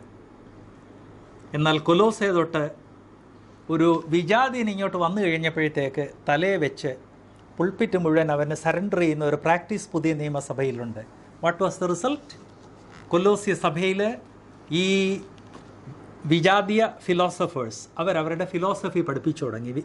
ഏത് ഫിലോസഫിയാണ് നോസ്റ്റിസിസം ജ്ഞാനവാദം. അത് വലിയ ഡേഞ്ചറസ് ഒരു ഫിലോസഫിയാണ് ജ്ഞാനവാദികൾ വേദപുസ്തകത്തെ മൊറാലിറ്റിയെ തള്ളിപ്പറയുന്നു. ഏഞ്ചൽസിനെ വർഷിപ്പ് ചെയ്യാൻ പഠിപ്പിക്കുന്നു. അതുപോലെ ഈ ഇൻവിസിബിളായിട്ടുള്ള ശക്തികളെ വർഷിപ്പ് ചെയ്യാൻ വേണ്ടി പഠിപ്പിക്കുന്നു. അത് വലിയൊരു പ്രശ്നമായി കഴിഞ്ഞപ്പോഴാണ് തിരുവെഴുത്ത് ദൈവാത്മാവ് കൊലോസിയയ്ക്ക് കൊലോസിയിലുള്ള വിശ്വാസികളോട് പറയുന്നത് നിങ്ങൾ ഇന്ന ഇന്നത് ചെയ്യുന്നു. നിങ്ങളുടെ ഓട്ടം വ്യർത്ഥമാകരുത്. Please remember this please remember this please remember this അതുകൊണ്ട് ദൈവവചനത്തെ എതിർക്കുന്ന ആ ഹിസ്റ്ററി നമ്മൾ നോക്കിയാൽ ഏതൻ തോട്ടത്തിൽ തുടങ്ങി പഴയ നിയമകാലം മുഴുവൻ കണ്ടിന്യൂ ചെയ്തു പുതിയ നിയമസഭ തുടങ്ങി ഗലാത്തിയയിൽ നാം കാണുന്നു കൊലോസയിൽ നാം കാണുന്നു കോരിന്തിൽ നാം കാണുന്നു. യൂതായുടെ ലേഖനം അതിനെക്കുറിച്ച് മാത്രമാണ്. ജസ്റ്റ് ഒരു ഒരു ഒരധ്യായം മാത്രമുള്ള ആ ലേഖനം. അതിനെക്കുറിച്ച് ഞാൻ ഒരു വ്യക്തി എഴുതിയ പുസ്തകം ഈ ദിവസങ്ങളിൽ വായിച്ചുകൊണ്ടിരിക്കുവാണ്. അത് ആ ജസ്റ്റ് ആ കുറച്ച് വാക്യങ്ങളുടെ അതിന്റെ ഡെപ്ത് മനസ്സിലാക്കണമെങ്കിൽ ആ പുസ്തകം ഏതാണ്ട് പത്ത് നൂറ്റി എൺപത് പേജസ് ഉണ്ട്. ഓരോ വാക്യത്തിൽ ദൈവാത്മാവ് പറയുന്ന അതിന്റെ ആ ഹിസ്റ്റോറിക്കൽ ബാക്ക്ഗ്രൗണ്ട് എടുത്തു കഴിഞ്ഞാൽ ഞെട്ടിപ്പോകും എന്ന് ഞാൻ ഓർപ്പിക്കട്ടെ. സോ അതിങ്ങനെ തുടരുന്നു. ഇരുന്നൂറ്റി മുപ്പത്തി നാല് എ ഡി ഇരുന്നൂറ്റി മുപ്പത്തി നാലിൽ ജനിച്ച ഒരു വ്യക്തിയായിരുന്നു പോറി ഫ്രീ. അയാൾ ഏകദേശം എൺപത് വർഷം ജീവിച്ചു. ക്രിസ്ത്യാനിയായിരുന്നു. ഫിലോസഫറായിരുന്നു. നല്ല എഴുത്തുകാരനായിരുന്നു. ലൈഫിൽ ഒരു സ്റ്റേജ് വന്നു കഴിഞ്ഞപ്പോൾ പോറിഫ്രീ ക്രിസ്ത്യ വിശ്വാസത്തെ ത്യജിച്ചു. ക്രിസ്ത്യ വിശ്വാസത്തിനെതിരായി എതിരായി. കഴിഞ്ഞപ്പോൾ ക്രിസ്ത്യ വിശ്വാസത്തെ ഡിസ്ട്രോയ് ചെയ്യുവാൻ വേണ്ടി പോറിഫ്രീ പതിനഞ്ച് വോള്യൂംസാണ് എഴുതിയത്. നമ്മളൊക്കെ സാധാരണ എന്തെങ്കിലും ഒരു വിഷയത്തെക്കുറിച്ച് എഴുതണമെങ്കിൽ ഒരു പുസ്തകം എഴുതിയതോടെ അത് തീർന്നെന്നാണ് എന്നാൽ ക്രിസ്തീയ വിശ്വാസത്തിന്റെ ഉള്ളിൽ നിന്ന് ആ വിശ്വാസത്തെ ത്യജിച്ച ആളുകൾ പ്രതികാര മനോഭാവത്തോടെയാണ് ക്രിസ്തീയ വിശ്വാസത്തിനെതിരെ എഴുതുന്നത്. അത് ഇന്ന് തുടങ്ങിയതൊന്നുമല്ല. അത് നമുക്ക് ബെസ്റ്റ് എക്സാമ്പിളാണ് പോറിഫ്രീ. പതിനഞ്ച് വോള്യൂംസ് ആണ് താൻ ക്രിസ്തീയ വിശ്വാസത്തിന് എതിരെ എഴുതിയത്. താൻ ഒരു ക്രിസ്തീയ വിശ്വാസിയായിരുന്നു. പിന്മാറ്റത്തിൽ പോയി കഴിഞ്ഞ് ചെയ്തതാണ്. അത് തന്നെ ഇരുപതാം നൂറ്റാണ്ടിൽ നാം കാണുന്നു. ഇരുപതാം നൂറ്റാണ്ടിൽ നാസ്തികന്മാരുടെ ആചാര്യനായ ജോസഫ് ഇടമറുക ദൈവഭയവും ഭക്തിയുമുള്ള ഒരു കത്തോൽ ഒരു യാ ഒരു മാർത്തോമ കുടുംബത്തിൽ ജനിച്ചു. തെക്ക് ഞങ്ങളുടെ ഏരിയയിലായിരുന്നു. തന്റെ ഫാദർ എന്ന് പറഞ്ഞാൽ ഭക്തനും ദൈവഭയമുള്ളതും മാർത്തോമ സഭയിലൊക്കെ അന്ന് രക്ഷിക്കപ്പെട്ട അച്ഛന്മാർ ഒത്തിരി ഉണ്ടായിരുന്നു. അങ്ങനെയുള്ള ഒരു തലമുറയിലുണ്ടായി. താൻ യുക്തിവാദിയായി മാറിക്കഴിഞ്ഞപ്പോൾ തനിക്ക് ക്രിസ്തീയ വിശ്വാസത്തിന്റെ സർവ ഉള്ളിലുള്ള കാര്യം അറിയാം. താൻ എഴുതിയിട്ടുള്ളതുപോലെ ക്രിസ്തീയ വിശ്വാസത്തെ ഡിസ്ട്രോയ് ചെയ്യുവാൻ വേണ്ടി ആർക്കും സാധിച്ചിട്ടില്ല. നിങ്ങൾ ചോദിച്ചെന്നിരിക്കും ബ്രദർ ജോൺസൺ എങ്ങനെ അറിയും? എന്റെ ലൈഫിൽ എന്നെ ഒത്തിരി ഇൻസ്പയർ ചെയ്തൊരു വ്യക്തിയാണ്. നിങ്ങൾ ചോദിക്കും നിരീശ്വരവാദി നിങ്ങളെ ഇൻസ്പയർ ചെയ്തു? ഉവ്വ. ഞാൻ കേരളത്തിലോട്ട് ഷിഫ്റ്റ് ചെയ്യുന്നതിന് തൊട്ട് മുൻപ് ജോസഫ് എടമറുക എഴുതിയ ക്രിസ്തുവും കൃഷ്ണനും ജീവിച്ചിരുന്ന ഇല്ല എന്നുള്ള പുസ്തകം എനിക്ക് ലഭിച്ചു. എനിക്ക് വന്ന ബുക്ക് മമ്മിയാണത് മലയാളമാണെന്ന് കണ്ടപ്പം ഓപ്പൺ ചെയ്തു. വായിച്ച് അപ്പം വായിച്ചിട്ട് തരാമെന്ന് പറഞ്ഞു. ഒരു മൂന്നിലൊന്നായപ്പോഴത്തേക്ക് മമ്മി പുസ്തകവും കവറും ആ, ഒത്തു തരുന്ന കുറച്ച് കാശൂടെ വെച്ചിങ് തിരിച്ചു തന്നേനെ. മമ്മി പറഞ്ഞു എന്റെ വിശ്വാസം അത് ആടിത്തുടങ്ങി ഇത് വായിച്ചു കഴിഞ്ഞപ്പോഴത്തേക്ക്. അന്ന് എനിക്ക് മലയാളത്തിൽ ഫ്ലുവൻസി ഇല്ല. എന്താണ് ജോസഫ് എടമർഗ് എഴുതിയത്? കാരണം മലയാളത്തിൽ എഴുതിയിരിക്കുന്നത്? അന്ന് ഞാൻ മലയാളം പഠിക്കണം എന്ന് സീരിയസ് ആയിട്ട് ചിന്തിച്ചതും ആ ഈ എഴുതി തുടങ്ങിയതും. കേരളത്തിൽ വരുന്നതിന് മുൻപ് തന്നെ മലയാളം വായിക്കാൻ ഞാൻ ഫ്ലുവന്റ് ആയിരുന്നു. സംസാരത്തിന് ഫ്ലുവന്റ് ആയില്ലെങ്കിലും ഇങ്ങനെ ഓറലി വായിക്കാൻ ഫ്ലുവൻസി ലഭിച്ചില്ലായിരുന്നെങ്കിലും മലയാളം വായിച്ചു തുടങ്ങിയായിരുന്നു. ആ പുസ്തകം അങ്ങനെ മലയാളം പഠിച്ച് കംപ്ലീറ്റ് വായിച്ചു കഴിഞ്ഞപ്പോഴാണ് മനസ്സിലായത് യാതൊരു കഴമ്പുമില്ലാത്ത ആർഗ്യുമെന്റ്സ് ഉപയോഗിച്ച് ഈ മനുഷ്യൻ എത്രയോ ആയിരക്കണക്കിന് ക്രിസ്ത്യാനികളെ അവരുടെ വിശ്വാസത്തിൽ നിന്ന് തെറ്റിച്ചു. വൈ ക്രിസ്ത്യാനികൾ എങ്ങനെ ചിന്തിക്കുന്നെന്നറിയാവുന്നത് കൊണ്ട് അതെങ്ങനെ അറ്റാക്ക് ചെയ്ത് കഴിഞ്ഞാൽ അവരെ നശിപ്പിക്കാൻ സാധിക്കുമെന്ന് ജോസഫ് എടമർഗിന് അറിയാമായിരുന്നു. അങ്ങനെയാണ് ജോസഫ് എടമറുക് മലയാളം പഠിക്കാൻ എന്നെ മോട്ടിവേറ്റ് ചെയ്തത്. ആ പുസ്തകത്തിൽ യാതൊന്നുമില്ല ബ്രദേഴ്സ് ആൻഡ് സിസ്റ്റേഴ്സ് അവർക്ക് നമ്മുടെ ഉള്ളിൽ ഒരു ക്രിസ്ത്യാനി എങ്ങനെ ചിന്തിക്കുന്നെന്ന് അറിയാവുന്നതുകൊണ്ട് അതിനനുസരിച്ച് ട്യൂൺ ചെയ്താണ് അറ്റാക്ക് ജൂഡോയിൽ കരാട്ടയിൽ അങ്ങോട്ട് അറ്റാക്ക് ചെയ്യുകയാണ്. ജൂഡോയിൽ അങ്ങോട്ട് അറ്റാക്ക് ചെയ്യുകയല്ല. ജൂഡോയിൽ ഒരാൾ ഇങ്ങനെ അങ്ങോട്ട് ഓടിച്ചെല്ലുമ്പം ആ ഓടിച്ചെല്ലുന്ന വ്യക്തിയുടെ ഫോഴ്സിൽ അവനെ പിടിച്ച് ഇങ്ങോട്ട് ഇങ്ങ് വലിക്കുക. അപ്പോൾ അവൻ അവന്റെ ഓൺ ഫോഴ്സിലാണ് മറിഞ്ഞു വീഴുന്നത്. അതാണ് ഈ ജോസഫ് എഡ്മർ ഉപയോഗിച്ച technique because he knows the inside Joseph എഡമർഗ് മാത്രമല്ല ധാരാളം വേറെ ക്രിസ്ത്യാനികൾ ക്രിസ്ത്യ വിശ്വാസം വിട്ടിട്ട് മാറിപ്പോയിട്ടുണ്ട്. ഇന്ന് ക്രിസ്ത്യാനികൾക്ക് ഏറ്റവും കെണിയായിട്ട് വന്നിരിക്കുന്ന ഒന്നാണ് മുഹമ്മദ് ഈസ. നിങ്ങൾക്കൊക്കെ ചിലപ്പോൾ നാളെ മുഹമ്മദ് ഈസയുമായിട്ട് ഇടപെടേണ്ടി വരും. പ്രത്യേകിച്ച് ക്രിസ്ത്യൻ ലീഡേഴ്സ് ഇവിടെ ഇരിക്കുന്നവരെ സുവിശേഷന്മാർ നിങ്ങളെയൊക്കെ നാളെ മുഹമ്മദ് ഈസ വിളിച്ചെന്നിരിക്കും ഒരു പെന്തികോസ്ത് പാസ്റ്ററിന്റെ മകനായിരുന്നു. അതുകൊണ്ട് സഭയ്ക്കുള്ളിലുള്ള കാര്യങ്ങളെല്ലാം അറിയാം. വിശ്വാസികളെ കളിപ്പിക്കാൻ വേണ്ടി എങ്ങനെ സംസാരിക്കണമെന്നറിയാം. വിശ്വാസികളെ എങ്ങനെ ട്രാപ്പ് ചെയ്യണമെന്നറിയാം. എന്ന് മാത്രമല്ല പ്രായം അധികമല്ലേ ഇപ്പോൾ എനിക്കൊന്ന് മുഹമ്മദ് ഈസായിക്ക് ഒരു നാൽപ്പത് വയസ്സ് കൂടിയാൽ കാണും. അപ്പം ഇങ്ങനെ അങ്ങോട്ട് പോയി കഴിഞ്ഞാൽ മുഹമ്മദ് ഈസായിക്ക് ഇനി ഒരു നാൽപ്പത് വർഷം വർക്കുണ്ട്. ആൻഡ് ക്രിസ്ത്യൻസിനെ തന്നെയാണ് ടാർഗറ്റ് ചെയ്യുന്നത്. എനിക്ക് ആളിനെ പേഴ്സണലി അറിയാം.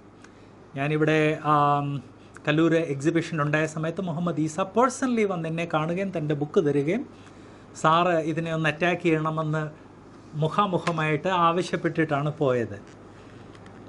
ഞാൻ ബുക്ക് കൊണ്ടുവന്ന് വായിച്ചു. കാരണം ബൈബിളിനെതിരെയുള്ള എല്ലാ ബുക്സും ഞാൻ വായിച്ചു നോക്കാറുണ്ട്. കൗണ്ടർ അറ്റാക്കിനൊന്നും പോയില്ല. എന്നാൽ ആ ബുക്ക് വായിച്ചപ്പോൾ ഒരു കാര്യം വ്യക്തമായി. ക്രിസ്ത്യാനികളുടെ ഉള്ളിലുള്ള വീക്ക്നെസ്സസ് മനസ്സിലാക്കിയിട്ടാണ് താൻ എഴുതിയിരിക്കുന്നത്.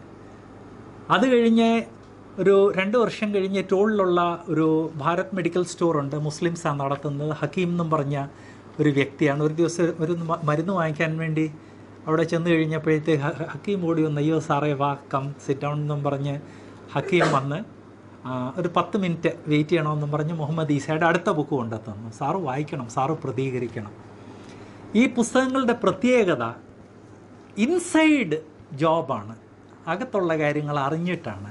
ഈ കരാട്ടെ പോലെ അങ്ങോട്ട് വന്ന് അറ്റാക്ക് ചെയ്യുമല്ല അറ്റാക്ക് ചെയ്യാൻ വരുമ്പോൾ നമുക്കറിയാം അറ്റാക്ക് ചെയ്യുവാന്ന് ചിലപ്പോൾ നമ്മൾ മാറിയെന്നിരിക്കും. ഇത് ജൂഡോ പോലെയാണ്. നമ്മൾ ഏത് ഫോഴ്സിലാണ് പോകുന്ന ആ ഫോഴ്സിൽ നമുക്ക് പിടിച്ചൊരു വലിയാണ് നമ്മൾ മറിഞ്ഞു വീഴും.